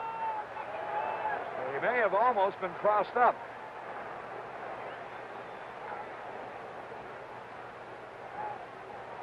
Brock, very intent. Boy, look at him. Watch his eyes. He stole two bases against Lolich and uh, Freehan, the Tigers, there in game two. Look at that lead he had. Certainly they're going to throw over. And there he goes the other way. Out! That's the play that worked here earlier in the series, but not this time. He just dared him to make that throw to first. Cash fired down to Stanley, and they have the tag on him. He just dared him. Look at that lead. Different angle. See that big lead? He dared him to make the throw to first, and as the ball headed to first, he was going to break the second and grab it. But Cash had a perfect strike down to Stanley to get him. A big play for the Tigers now to rub Brock out.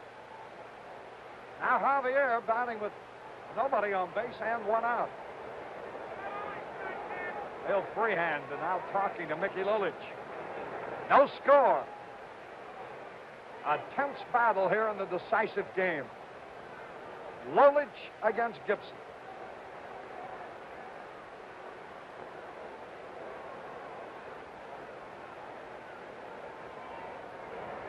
Javier held up in time, ball two. Two balls, no strike.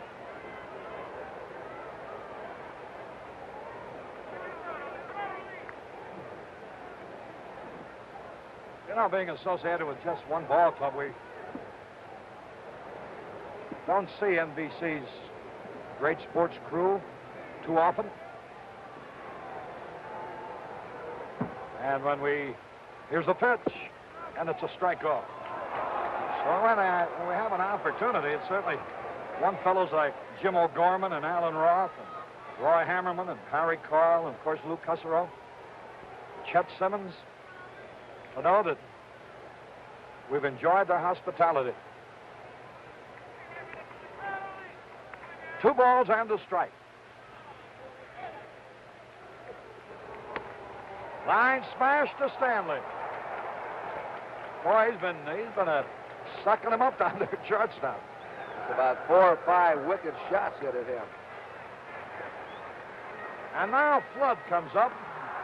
He singled in the first and stole a base. Two men are gone. Bottom of the sixth.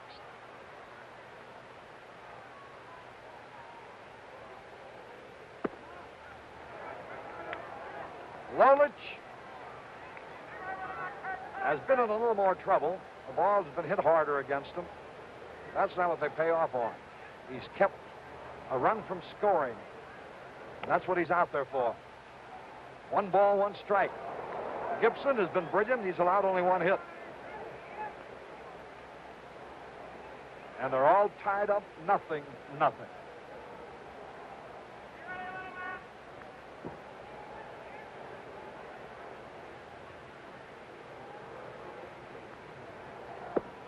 The curve inside. You know, he has a good assortment of pitches. He can come over the top and he can crossfire or sidearm left-handed hitters. He's got a good fastball. Seems like two kinds of curveball.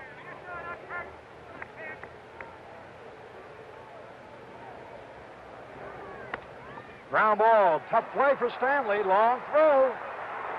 Safe.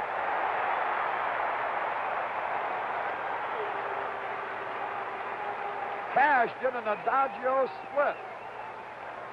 Trying to get that ball as soon as possible. But Flood legged it out, and now here's Cepeda.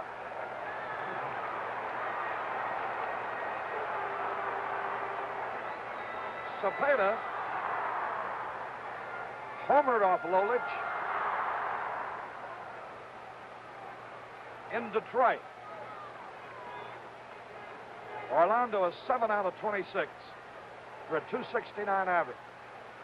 Flood has base stealing speed.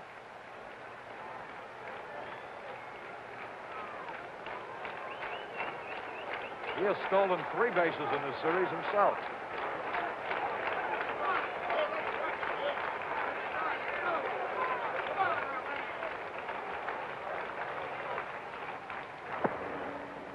Barely missed. They like to pitch Cepeda in tight, like to jam him with the ball. You make just a little mistake and don't get it in far enough, it can hurt you. The corner that time.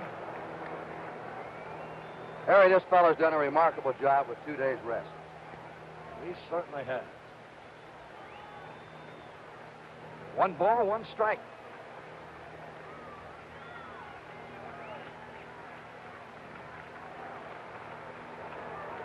They got him picked off. Flood is caught off first base. There's McAuliffe now, and Lolich running him down the other way.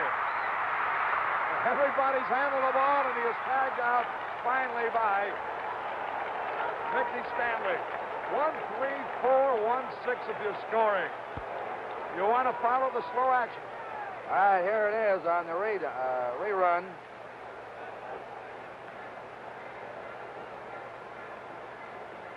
That's a Lolich, now the pitcher. Here's Stanley faking a throw and then making the tag to wind up the play. So the Cardinals had two men cut down on a run down that time between first and second. Two hits, no runs, no errors, nobody left. And at the end of six full innings now, still nothing, nothing.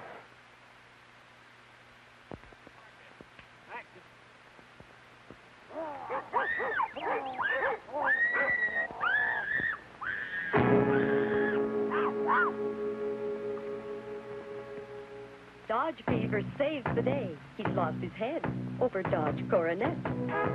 Dodge Coronet, Design 69, proving it costs less than you'd think to go first class on a 117-inch wheelbase. Coronet, trim enough outside to handle quickly, easily, big enough inside to handle a crowd in comfort. 17 Coronets to choose from, including the Coronet Super B with 383 cubes of standard V8. A wild new way to get Dodge fever.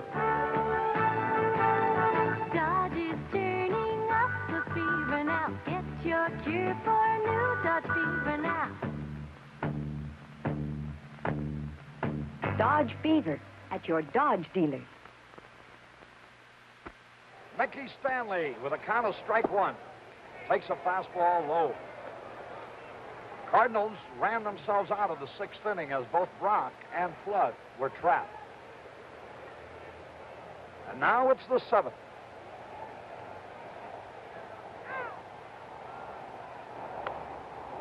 High pop foul. Out of play. Two strikes and a ball. What a dramatic finish to this World Series. The two best pitchers in the series hooked against each other, each going in with records of 2 and 0 and battling each other into the seventh nothing nothing.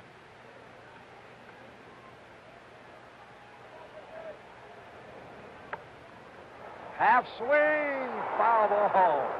Boy, that just missed inches being an extra base hit as Stanley had tried to check his swing.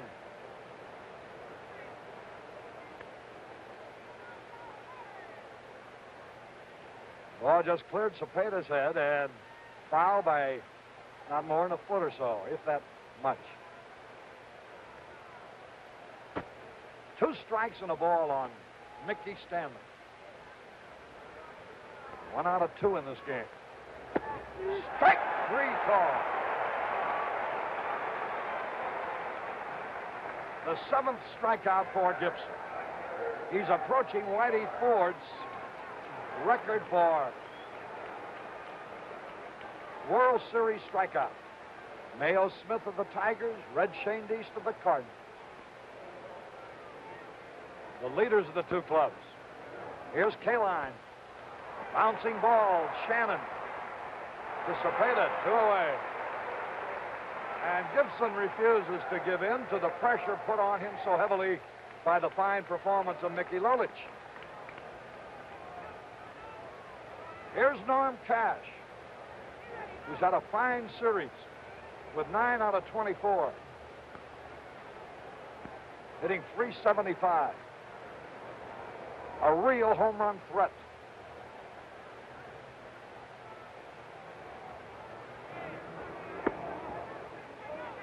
That was a slider that was high. Cash hit 25 during the season. He's hit one in the series.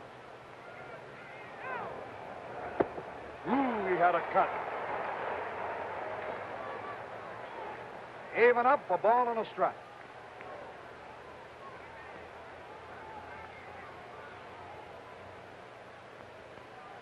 How much bothers him?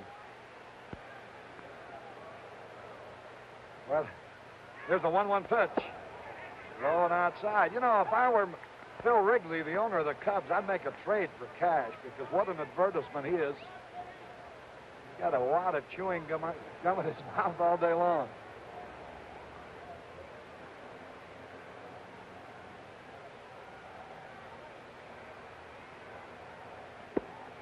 Curve a dandy. Boy, that snapped in there.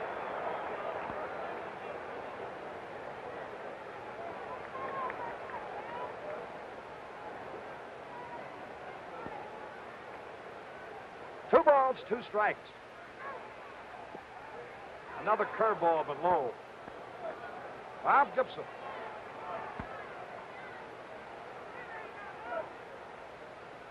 Hasn't walked anybody today. He has fanned seven. He's allowed one hit and infield hit.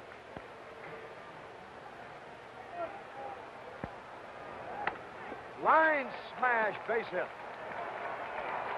And here's Willie Hart. Horton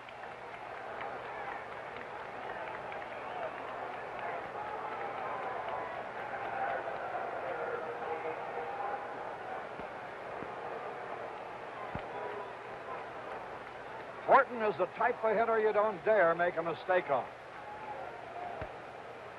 And even if you don't make a mistake, he's strong enough to hit anything out of the ballpark.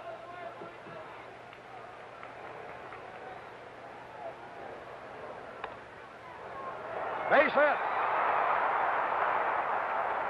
And the Tigers now made their first threat with two out base hits by Cash and Horton.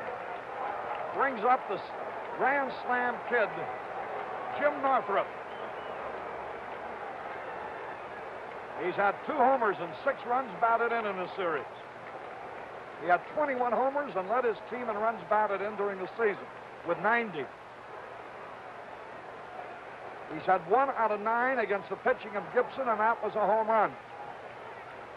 That was the only run that Gibson's permitted in this series.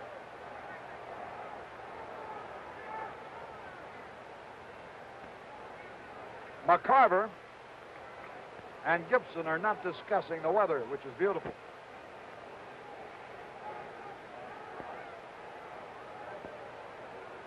Northrup hits the ball to all fields.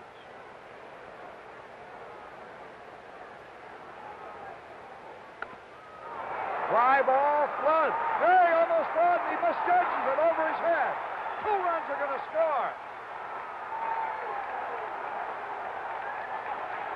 The same thing that almost happened earlier in the game to Jim Northrup, and now it has happened to one of the greatest defensive center fielders in baseball, Curt Flood. As he started over, something happened to his underfooting. Watch this now. He catches his spike, see, and he nearly fell down. And that cost him gauging the ball. Flood very rarely has ever uh, misjudged the ball out there, but when he stumbled on his way, it threw him out of his path. He couldn't get back. The ball sailed over his head, and the Tigers now have two runs in in the seventh, and this all came after two out, nobody on. So Detroit leads two to nothing. Bill Freehan, the batter, he's nothing out of two. Northrup, who now has driven in eight runs. The curve is a beauty over the inside corner. Each team now has four hits.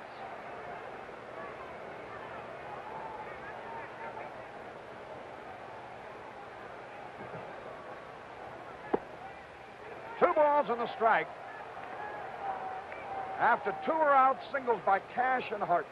Brought up Northrup with the ball hard, but directly into center field. Flood slipped as he started for the ball. Swung and missed, and it's evened up two balls, two strikes.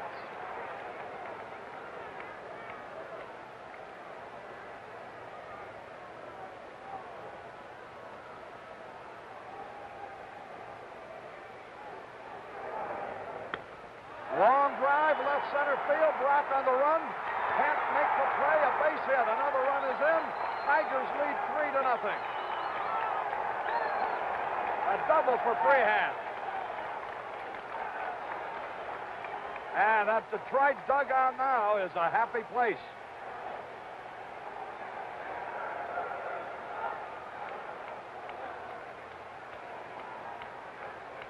Three to nothing, Detroit in the seventh inning. The Tigers trying to become only the third team in World Series history to be down three games to one and still win the series. Wert being intentionally passed. That will bring up Lolich.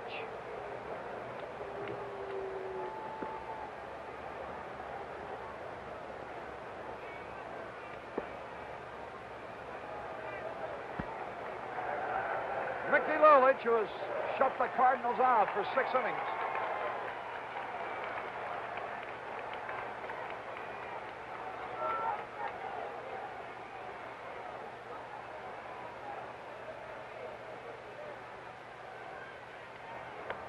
Swings, and he fouls it into the Cardinal dugout.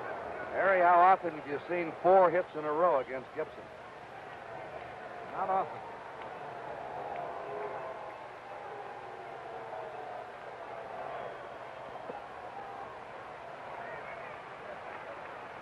Lolich, fanned in the third, bounced out in the sixth.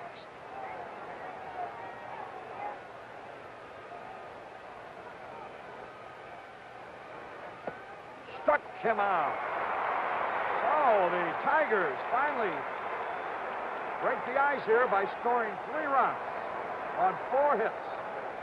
No errors, two men were left. They go to the bottom of the seventh. Detroit three, St. Louis nothing. Jeremy I. Parsons got a red convertible loan from the Canadian Imperial Bank of Commerce and bought a blue fastback with buckets. You look great in blue, Jerry. On the other hand, Wilfred S. Hughes got a Commerce red convertible loan and bought a beige sedan.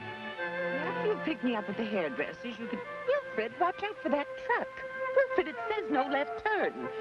Take me down to Mary Jane's. We have to discuss... Well, sure beats walking, eh, Willie? Meanwhile, Miss Charis B. Holmes got a Commerce red convertible loan and bought a pickup truck. How do you like them apples, eh, Charis? Wouldn't you like a Commerce red convertible loan? You might even get a red convertible.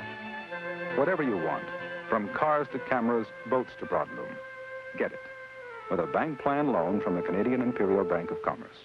You'll find it easy to arrange. Just talk to the man at the Commerce.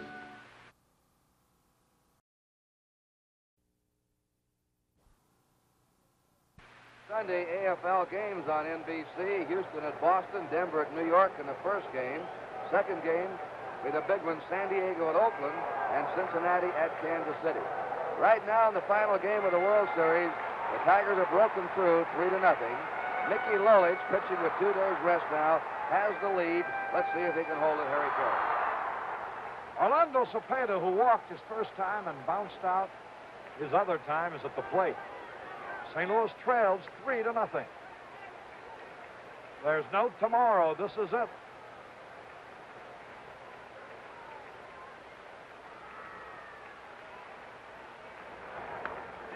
Foul out of play. Lolich looks as if he should pitch out with two days rest all the time. He has been great.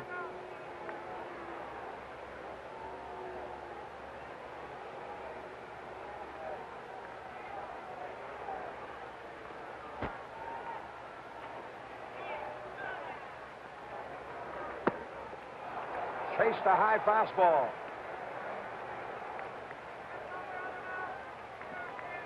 The Cardinals were ahead in this World Series Monday, three games to one, and got three runs in the first inning. Tigers came off the floor to win that game, won yesterday, and are in front today.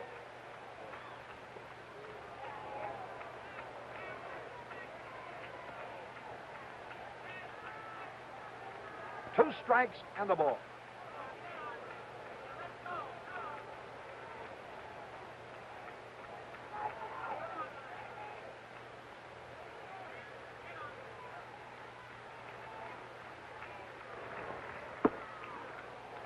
Rushed him back, and it's even. Two balls, two strikes. Three to nothing Detroit. Bottom of the seventh.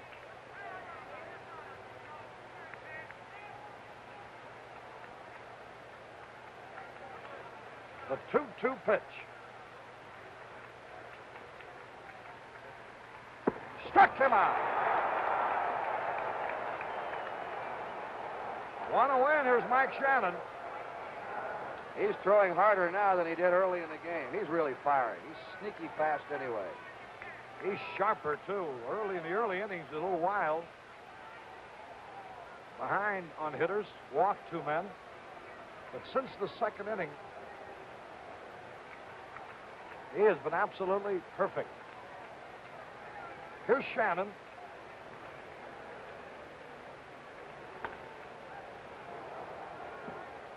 One strike and no balls as he grounded one foul. Joe Schultz coaching at third base, sidestepped that one. Three to nothing, Tigers lead. Bottom of the seventh in St. Louis.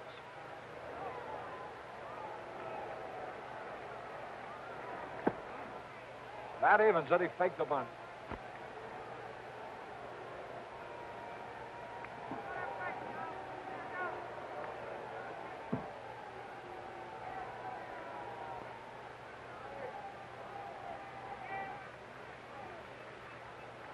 The outfield straight away.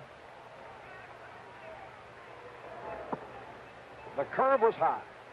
Two balls and a strike. One out.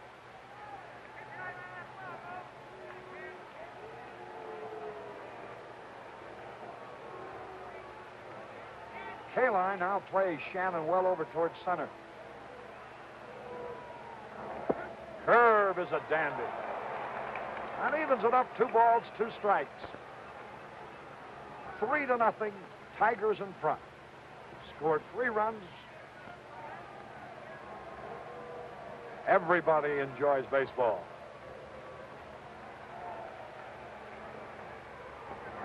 All three.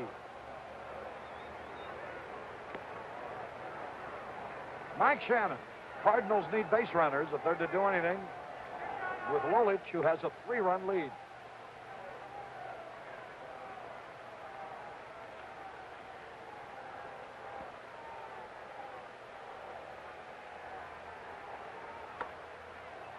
An easy fly ball. Hey, Northrup dropped it. Shannon going to second. Horton and Northrup almost collided, and the ball dropped off Northrup's glove. Here it is now. Looks like an easy chance. Here's Willie Horton. Looks like he's getting to the ball first. Now Northrup comes in. There they are, both reaching up. Northrup. That ball might have just been jarred. You saw Horton try and fade back and get out of his way. No matter how many times you tell ball players to talk, to yell, I've got it, that will happen. It happened on a foul ball in Detroit between Freehan and Cash. It's ruled an error on Northrup.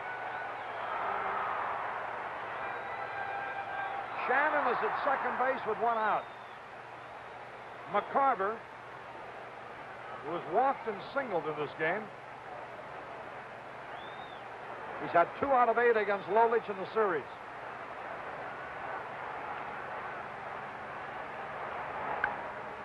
High fly. Kaline will catch it.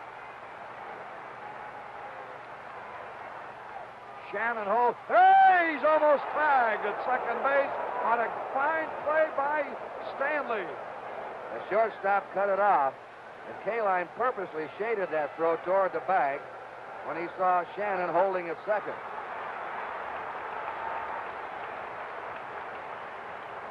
That would have been something. Here's Maris now.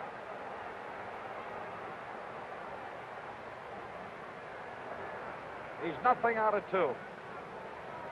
Hit into a double play and struck out. Dick Schofield going down to the right field corner. Apparently there'll be a pinch hitter for Maxvill. If it goes at four in this inning. Swings and he misses a curve. There's Schofield going into the bullpen area to limber up. Lolich has stopped the Cardinals cold. Two out here in the seventh. Shannon at second base.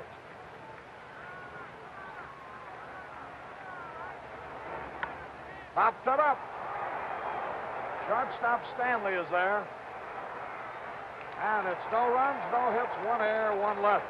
At the end of seven full innings, Detroit three, St. Louis nothing.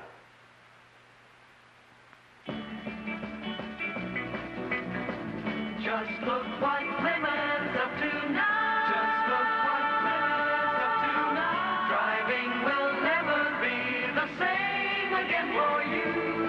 Introducing the 1969 Plymouths. Fury. This year it's a whole new car. Longer, wider, completely redesigned from rubber to roofline. Belvedere, our mid-size success car. 26 models, 18 colors, 76 interiors. Valiant, the compact that didn't get bigger, just better. Barracuda, four great engines, three great bodies, and a torsion bar suspension for true sports car handling. See what Plymouth's up to now at your Plymouth dealers. Just look what Plymouth's up to now. We pause now for station identification. This is the CBC Television Network.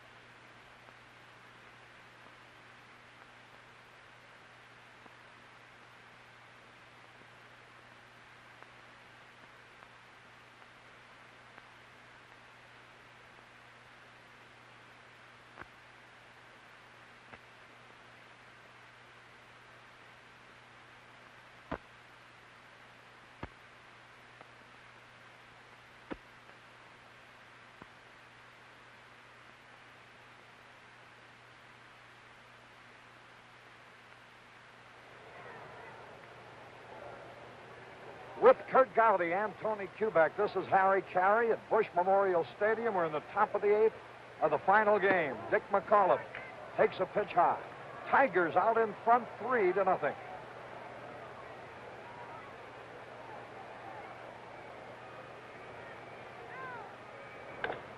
Bouncing ball, Javier will throw him out. Here's Stanley, who has been absolutely remarkable playing shortstop.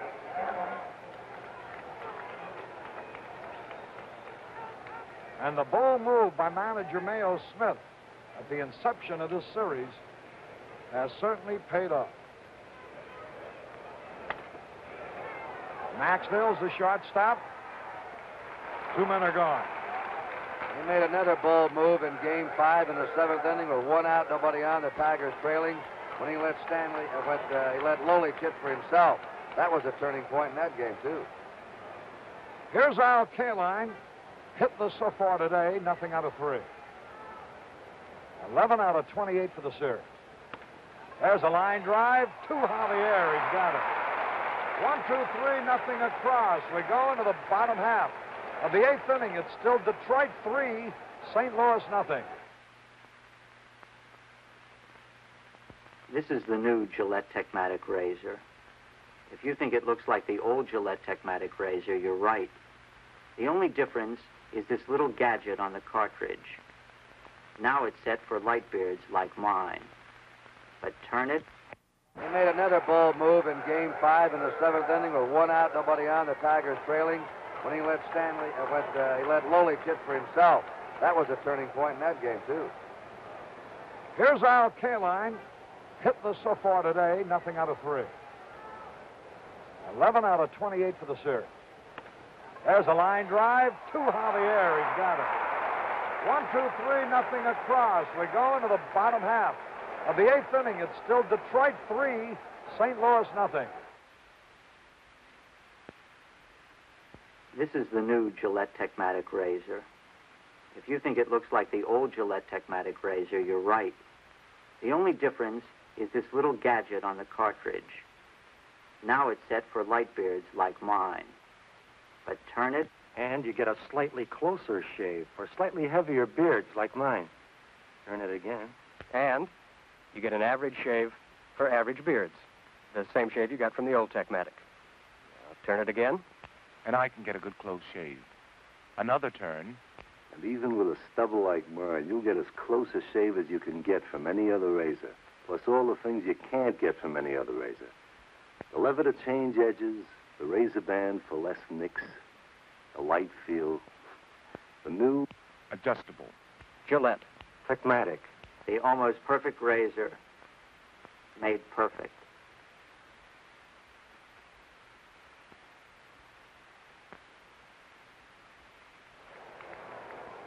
Phil Gagliano will be the pinch hitter here for Dal Maxvill. It's surprising the Tigers have been pulling a defensive change when they've had the lead in the late innings moving Stanley back to center field, putting Oyler in and moving Northrup to left. But they're staying right now with their starting lineup with a three-run lead. Gagliano takes the curveball inside.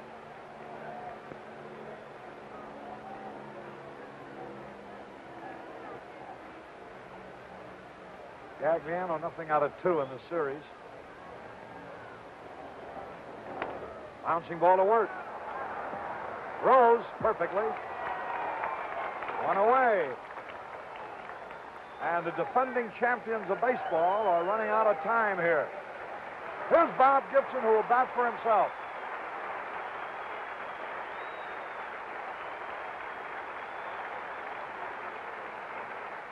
We're going to have that play discussed. It'll become a famous play in World Series history. Northrup fly ball that Flood stumbled on, nearly fell down, and sailed over his head with two outs. That's the play of the series. Here's Bob Gibson. Fouls the pitch back. And I imagine that sixth inning of the Cardinals will be talked about quite a bit too, Kurt. When Lolich picked two men off first base.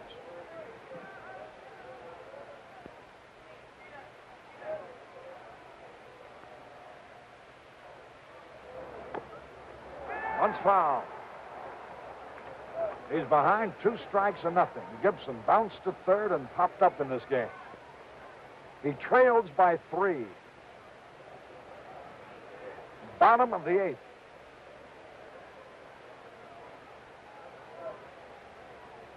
Mickey Lolich.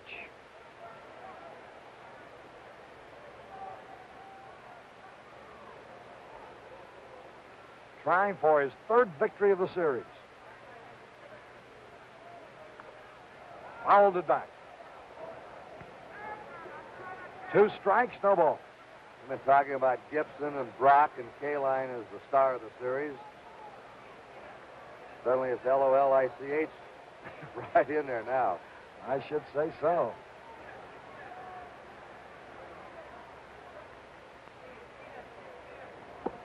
Held up in time. Two strikes and a ball. Bill Freehan thought he had gone around. Tom Gorman says no, Bill.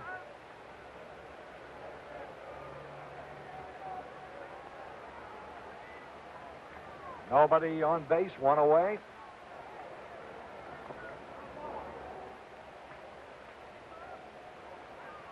The ball ticked the bat for a foul tip strike.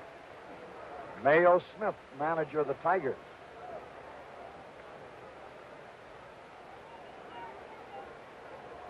Bob Gibson with a count of two strikes and a ball.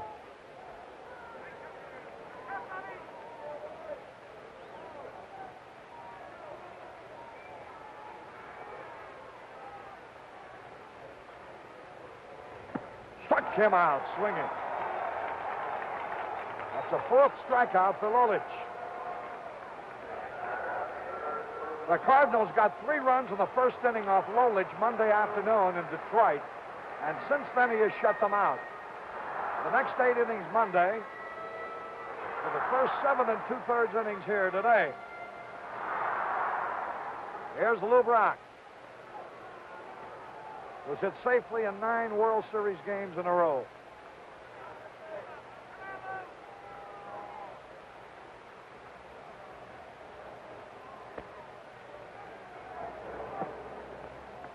Sweeping curveball, low and outside. Lolich coming from the side to the left-hand batter.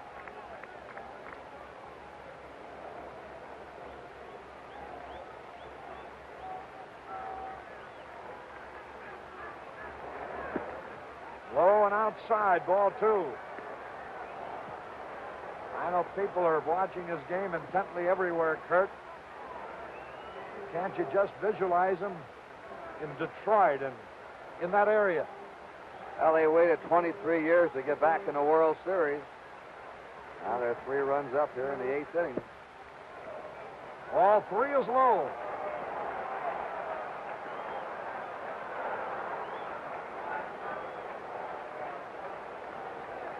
Lou Brock bounced out to McAuliffe his first two times, then singled to left. Drew a throw to first as he headed for second and was cut down. Watch him, ball four.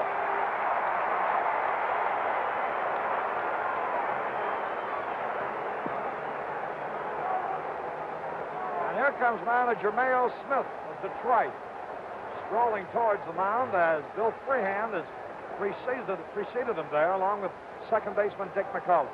I'm sure all he wants to know is, are you tiring? Tell me honestly now, is that arm getting a little bit tired? If you are, we'll get a fresh man in here. That's his first walk since the second inning. He walked a man in the first, a man in the second. Of course, one of the tips usually on a fellow losing his stuff retiring is when he starts to lose a little control. But uh, he hasn't. got the first two men out in this inning. Now Brock's on first. Three nothing Tigers, and let's see what happens. Julian Javier's hitless today. Nothing out of three. Has hit the ball sharply each time, but out. Two men are gone. The runner at first base, Lou Brock.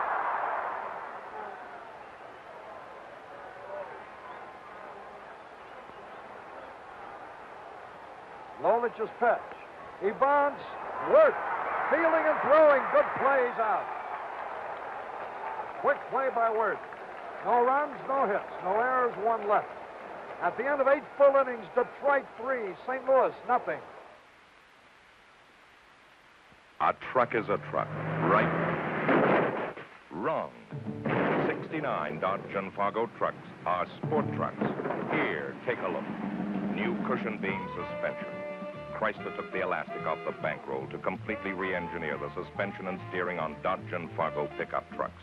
A sway bar was added, springs redesigned, liners added, and a lot more to make 69 Dodge and Fargo trucks the sweetest handling pickups on the road under any load, bar none. Bumps flatten, potholes smooth out, rides like a limousine. And that's not all. Handsome new long line styling and comfortable luxury interiors prove you don't have to be ugly to be tough. Dodge and Fargo with cushion beam suspension. Sport Truck 69. See your Chrysler dealer for Sport Truck 69.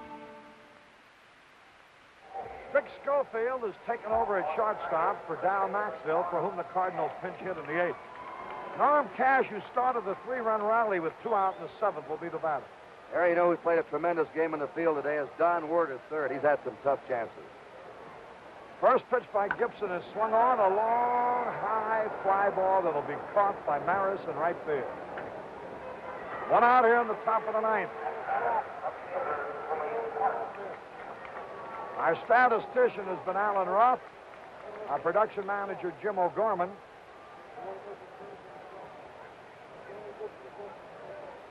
Our videograph operator has been Bill Rose, assisted by Arnie Reef. Our special videotape segments. Here's a pitch lined in the left by Horton for a base hit. Our special videotape segments prepared by Barry Stoddard.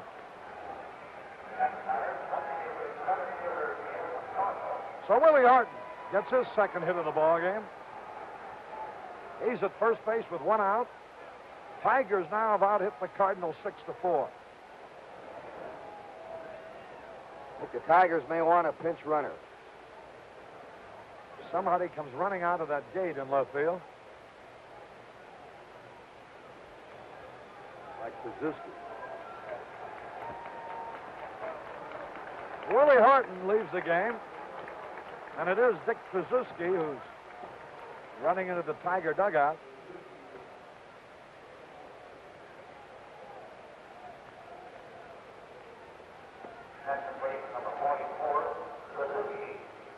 Kurt, while I have a moment, I certainly want to thank you and Tony Kubek and all the fellas. I mentioned this as many as I as they came to mind a little earlier, but the courtesies are much appreciated. Well, we appreciate that. And thank you, and also George Kell, who did such an outstanding job to telecast with the Tigers.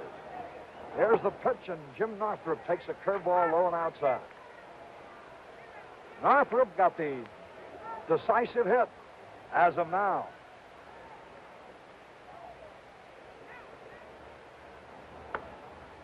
Foul out of play. Northrup has tied Kaline for RBIs with eight. Had a grand slam homer yesterday. Had a triple with two on today.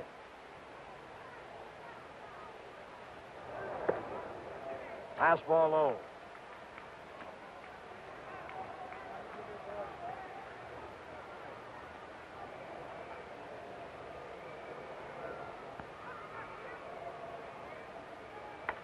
Ground ball up the middle, through a hit. Here's Tracewski racing to third, and he'll make it. And the Tigers threaten to add more. With runners at first and third, only one out here in the top of the ninth. And Bill Freehan, who's had one out of three driving in a run today, coming to the plate.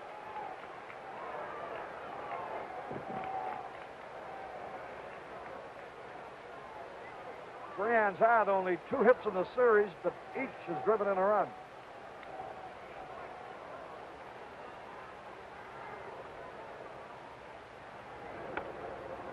Popped up. Foul territory of Cepeda. Two out. We also want to give credit to the Commissioner of Baseball, William D. Eckert, Joe Reichler, the Director of Public Relations, Charlie Segar, the Secretary Treasurer, and Monte Irvin, the Commissioner's Office. The job they've done in the series, to Bing Devine, Jim Toomey of the Cardinals, Schoendienst, the manager, and to Augie Busch, the owner. Here's Don Wert. Line drive, base hit, a run is in. Wert singles to center. He's had two hits in the series. Both were on Bob Gibson. It's four to nothing Detroit now.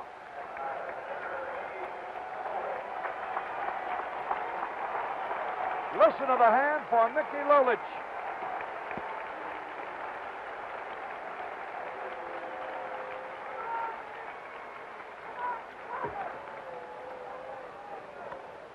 Pops it up.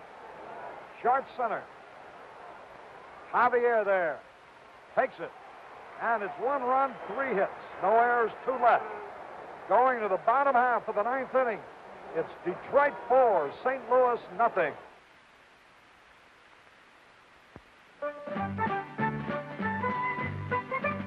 This bank began the year Canada began and grew along with Canada. All along the way, wherever history was being made, the commerce was there. Reliable, progressive, a real working bank. Serving the loggers, the miners, the oilmen.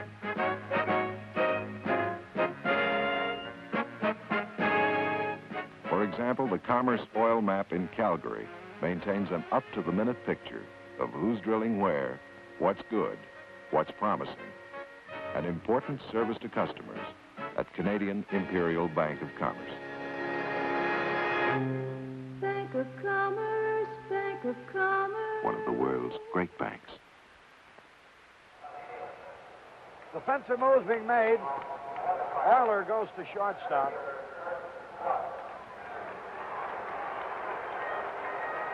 Stanley moves to center field, and Northrup to left field. So Ray Oyler's at shortstop, Mickey Stanley in center, and Jim Northrup is in left. Lolich going the bottom of the ninth has a four to nothing lead. Curt Flood leading off. First pitch is a fastball strike. I know the Tiger owner, John Fetzer, an old boss of mine, uh, worked in Kalamazoo, must be happy, along with the general manager, Jim Campbell, and publicity director, Hal Middlesworth. Here's a slow curve, strike two. Mickey Lolich has a four to nothing lead over Bob Gibson and the St. Louis Cardinals. Foul tip. Lolich now has pitched 16 straight scoreless innings against the Cardinals. Bottom of the ninth. Cardinals have only scored two runs here in their last three games.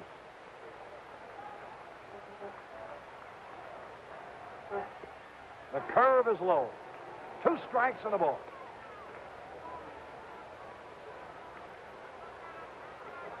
The Tigers out hit the Cardinals eight to four.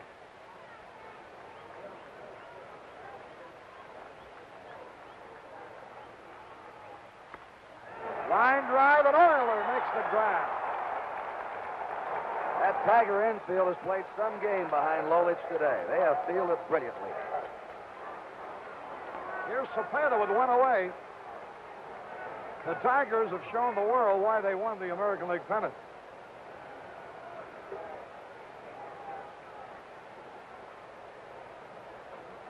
And they have roared from behind against the defending world champion St. Louis Cardinals to a point where they're two outs away from replacing them.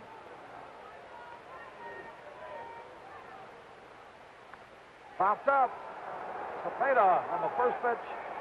Three and under the ball. He's got it.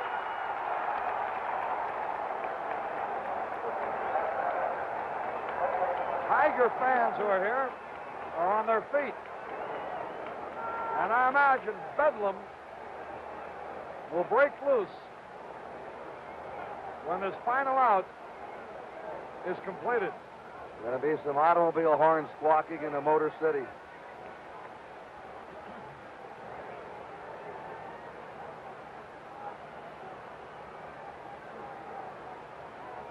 Mike Shannon is nothing out of three.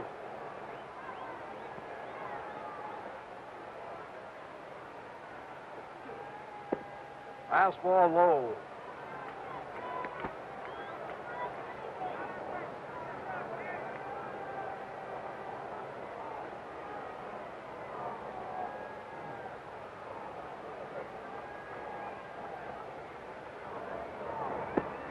High. Ball two. No strikes, two outs.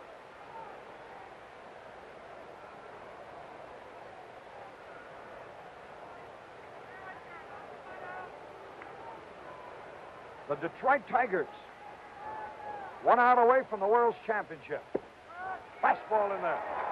Harry, we can't see the bullpen. Uh, the Tiger bullpen delegation is no longer out there. They're beyond the wall, but they're looking through a gate.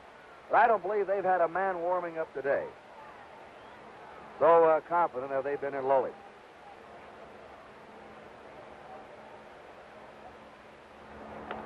There's a long drive.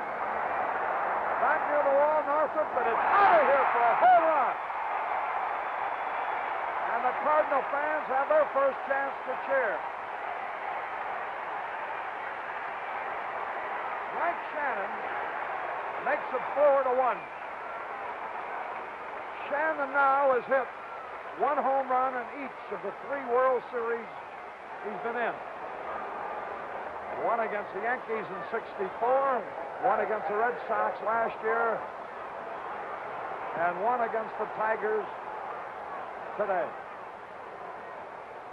Here's McCarver now.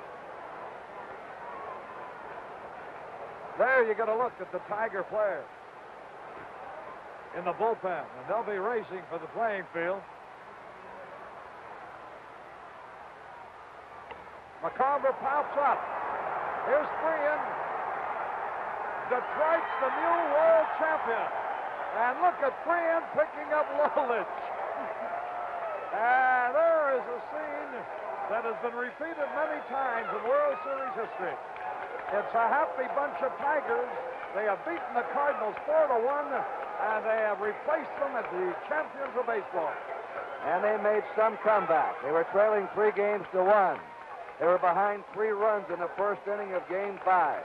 They came back to win. They walked in here and murdered the Cardinals yesterday. They win again today, and 28-year-old Mickey Lolich now has joined Christy Mathewson, Jack Coombs, Babe Adams, Stan Coveleski, Harry Brecheen, Lew Burdette, and Bob Gibson as pitchers who have won three games and lost none in a World Series. And Lolich did it with two days rest and beat Bob Gibson to do it. Some feat. Well, there's the uh, Tiger Clubhouse. The final score Detroit 4, St. Louis 1. The total's 4 8 and 1 for Detroit. Lolich the winner, 3 and 0 in the series. 1 5 and 0 for the Cardinals. Gibson the loser, 2 and 1 in the series.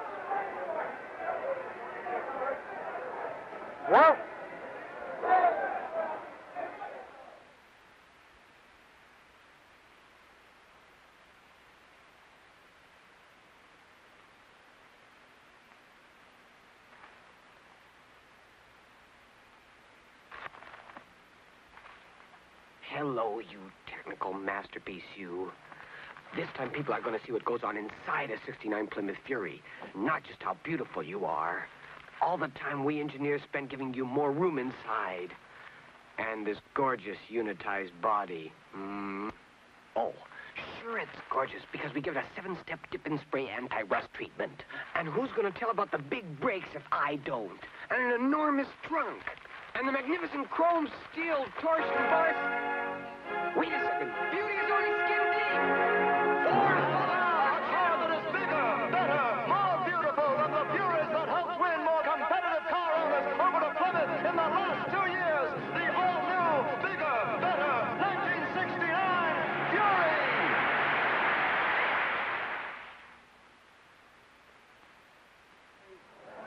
and television to you baseball fans around America. They've been with NBC in the World Series since 1939. Right now, we're going to the Tiger Clubhouse and to the Tiger broadcaster, Ernie Harwell. Thank you very much. We're in the Tiger Clubhouse and a wild celebration for the new world champions. And here is the Commissioner of Baseball, William Eckert, and he has a special presentation to Manager Mayo Smith, Owner President John Fetzer, General Manager Jim Campbell. Mr. Commissioner, it's yours.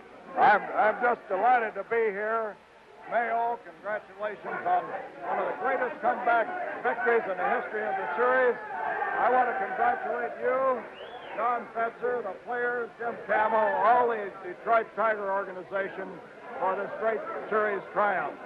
You certainly won it from a great Cardinal team, and in recognition of this great achievement, I want to present you a beautiful World Series trophy here today.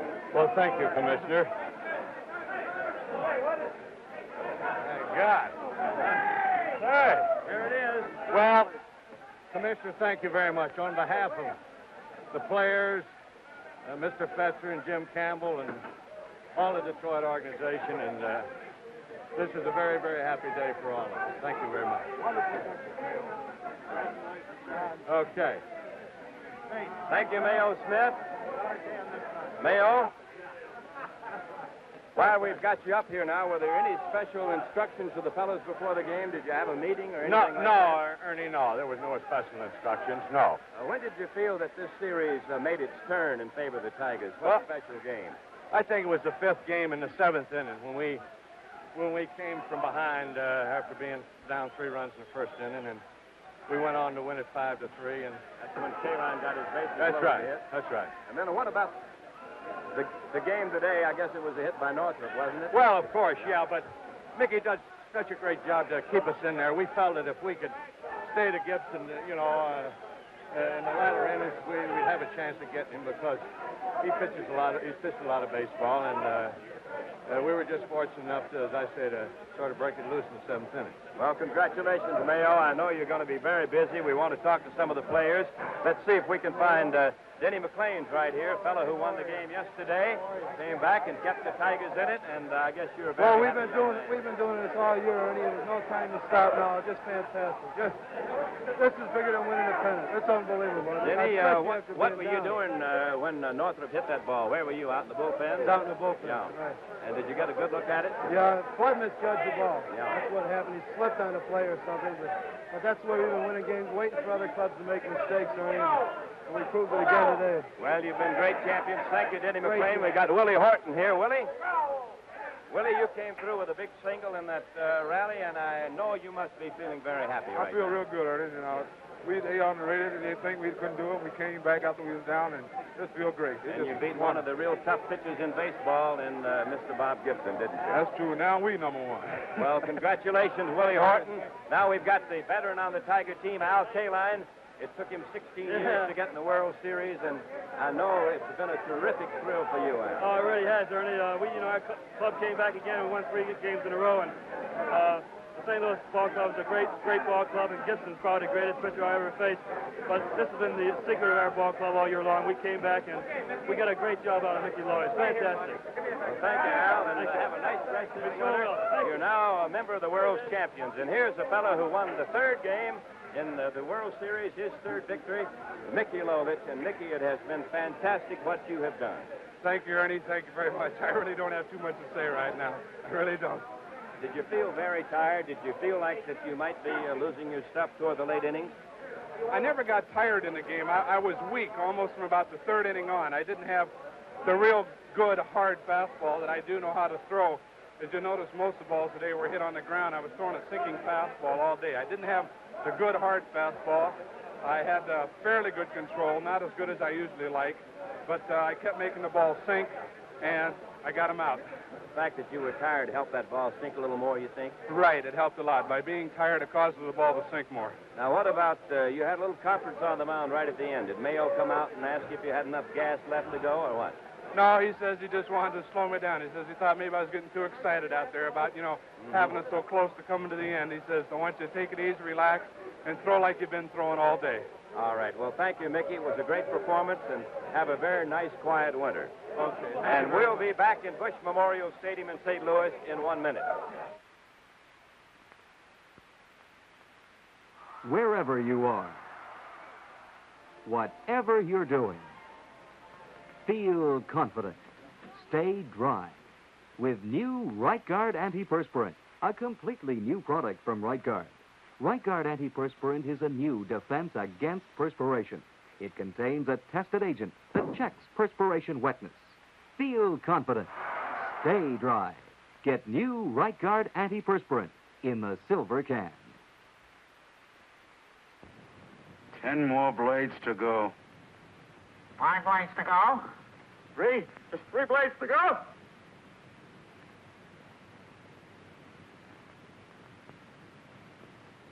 That's it. I used up all the old blades. Now I can use the new Gillette Super Stainless Steel blade with the miracle plastic coating on the edge. They say it's supposed to spoil you. The spoiler. Sport Magazine uh, awards the most valuable player of the World Series, the Dodge Charger GT. And this uh, year, the award goes to the fellow we just talked to, Mickey Lolich, the three victory pitcher of the Detroit Tigers. And now it's our pleasure to introduce the American League president with a big smile on his face. It's nice to have a winner, Mr. Joe Cronin. Ernie, I'm speechless. Uh, this was a terrific series. I want to tell you, uh, and I know how you must feel after all being with the Tigers day in and day out, spring training on. But it was a great thing for a great game of baseball. Mickey Lolich and all those Tigers are just a great credit to our game. Well, thank you, Mr. Joe Cronin. And And the Tiger organization is one of the tops in baseball. thank you very much, and nice to have you with us. And here's a young man named Dick McAuliffe. Hello, uh, Ernie. is- It's great to be with a world's champion, I It's, imagine, it's the greatest feeling in the world, Ernie. Uh, And uh, where'd you get that hat, anyway? This is Campbell's hat, and I stole it from him, and I told him uh, if we win this thing, I want this hat, and he gave it to me. He- He's got to buy, he's got to buy it back from you right now. No, he's not going to have this stuff again. We well, really, we really well, you're getting a little heckling from Bill Freehan. Let's get him up here, and then somebody else can heckle him a little bit. Here's a fellow who sparked the Tigers throughout the year, Bill Freehan. He had a little.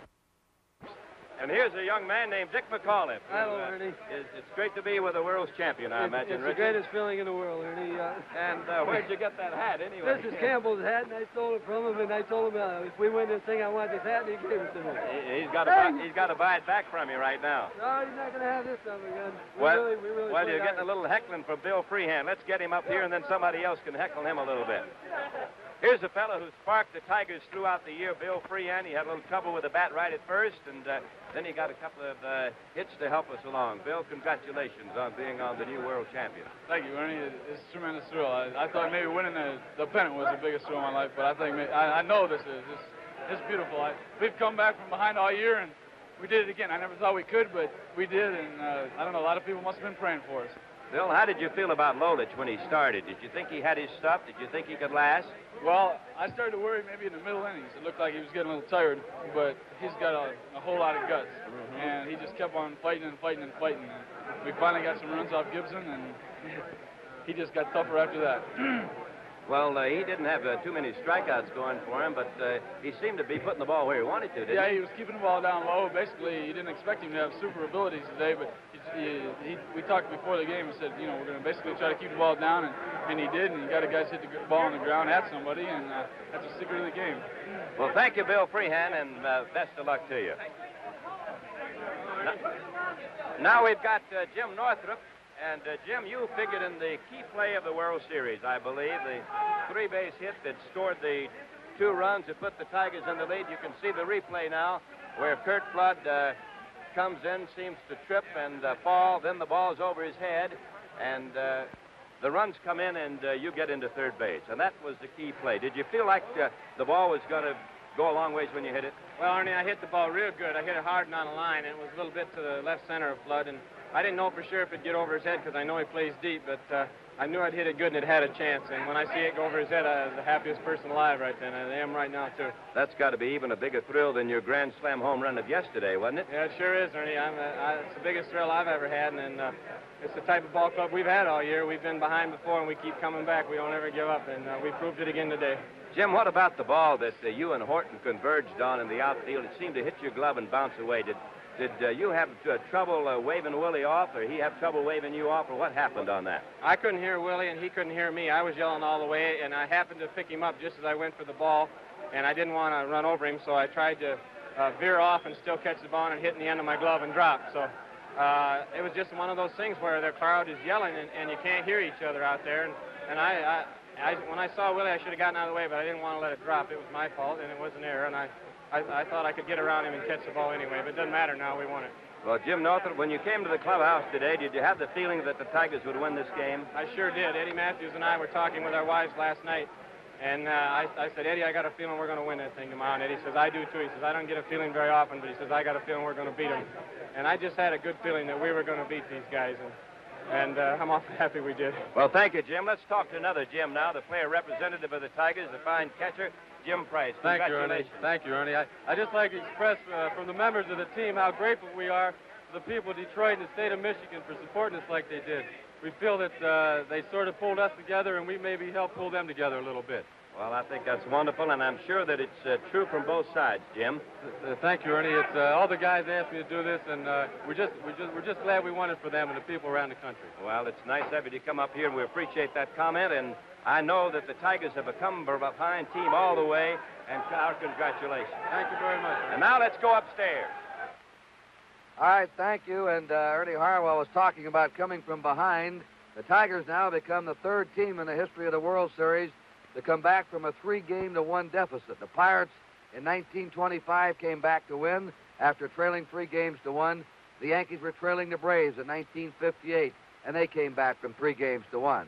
And when the Tigers were behind three to nothing in the first inning of Game Five, when they looked so bad against the Cardinals in their own ballpark, in fact, a few of their fans were even booing them, uh, Harry, on Sunday in the rain, uh, to come back, match the type of team it was. They won over 40 games during the regular season behind from the seventh inning on.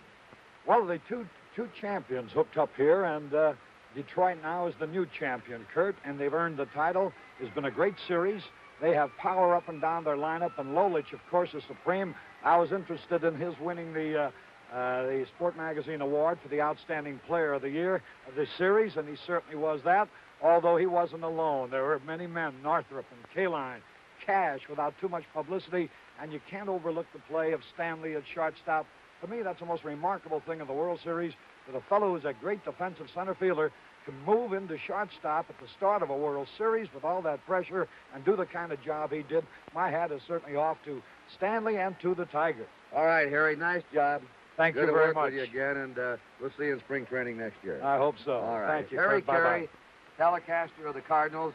Incidentally, I think probably the truest statement made before this series, as it turned out, a real prophet, Mayo Smith, who made all the right moves for the series, when they asked him what would happen if the Tigers came down to Game 7 and you had to face Bob Gibson. He said, Well, boys, Gibson's a great, great pitcher, but he's still only a human being. Someday he's got to be beat. And as it turned out, the Tigers did finally beat him. That play will be talked about for years. I'd be anxious to talk to Curt Flood to see if he did misjudge the ball in center, or did he, stumbling and catching his spikes, allow Northrup's drive to sail over him in center field. But you'll be hearing about that after the game. So the Tigers win the World Series. Lolich wins his third game of the series. He beats Gibson here today, and the final score was Detroit 4 and St. Louis 1. The seventh game of this 1968 World Series has been brought to you by Chrysler Canada Limited and the Dodge, Plymouth, Rootes, and Simca dealers who sell the quality engineered cars and trucks by Chrysler. By Gillette, makers of new Right Guard antiperspirant in the silver can. By the more than 1,350 branches in Canada of the Canadian Imperial Bank of Commerce.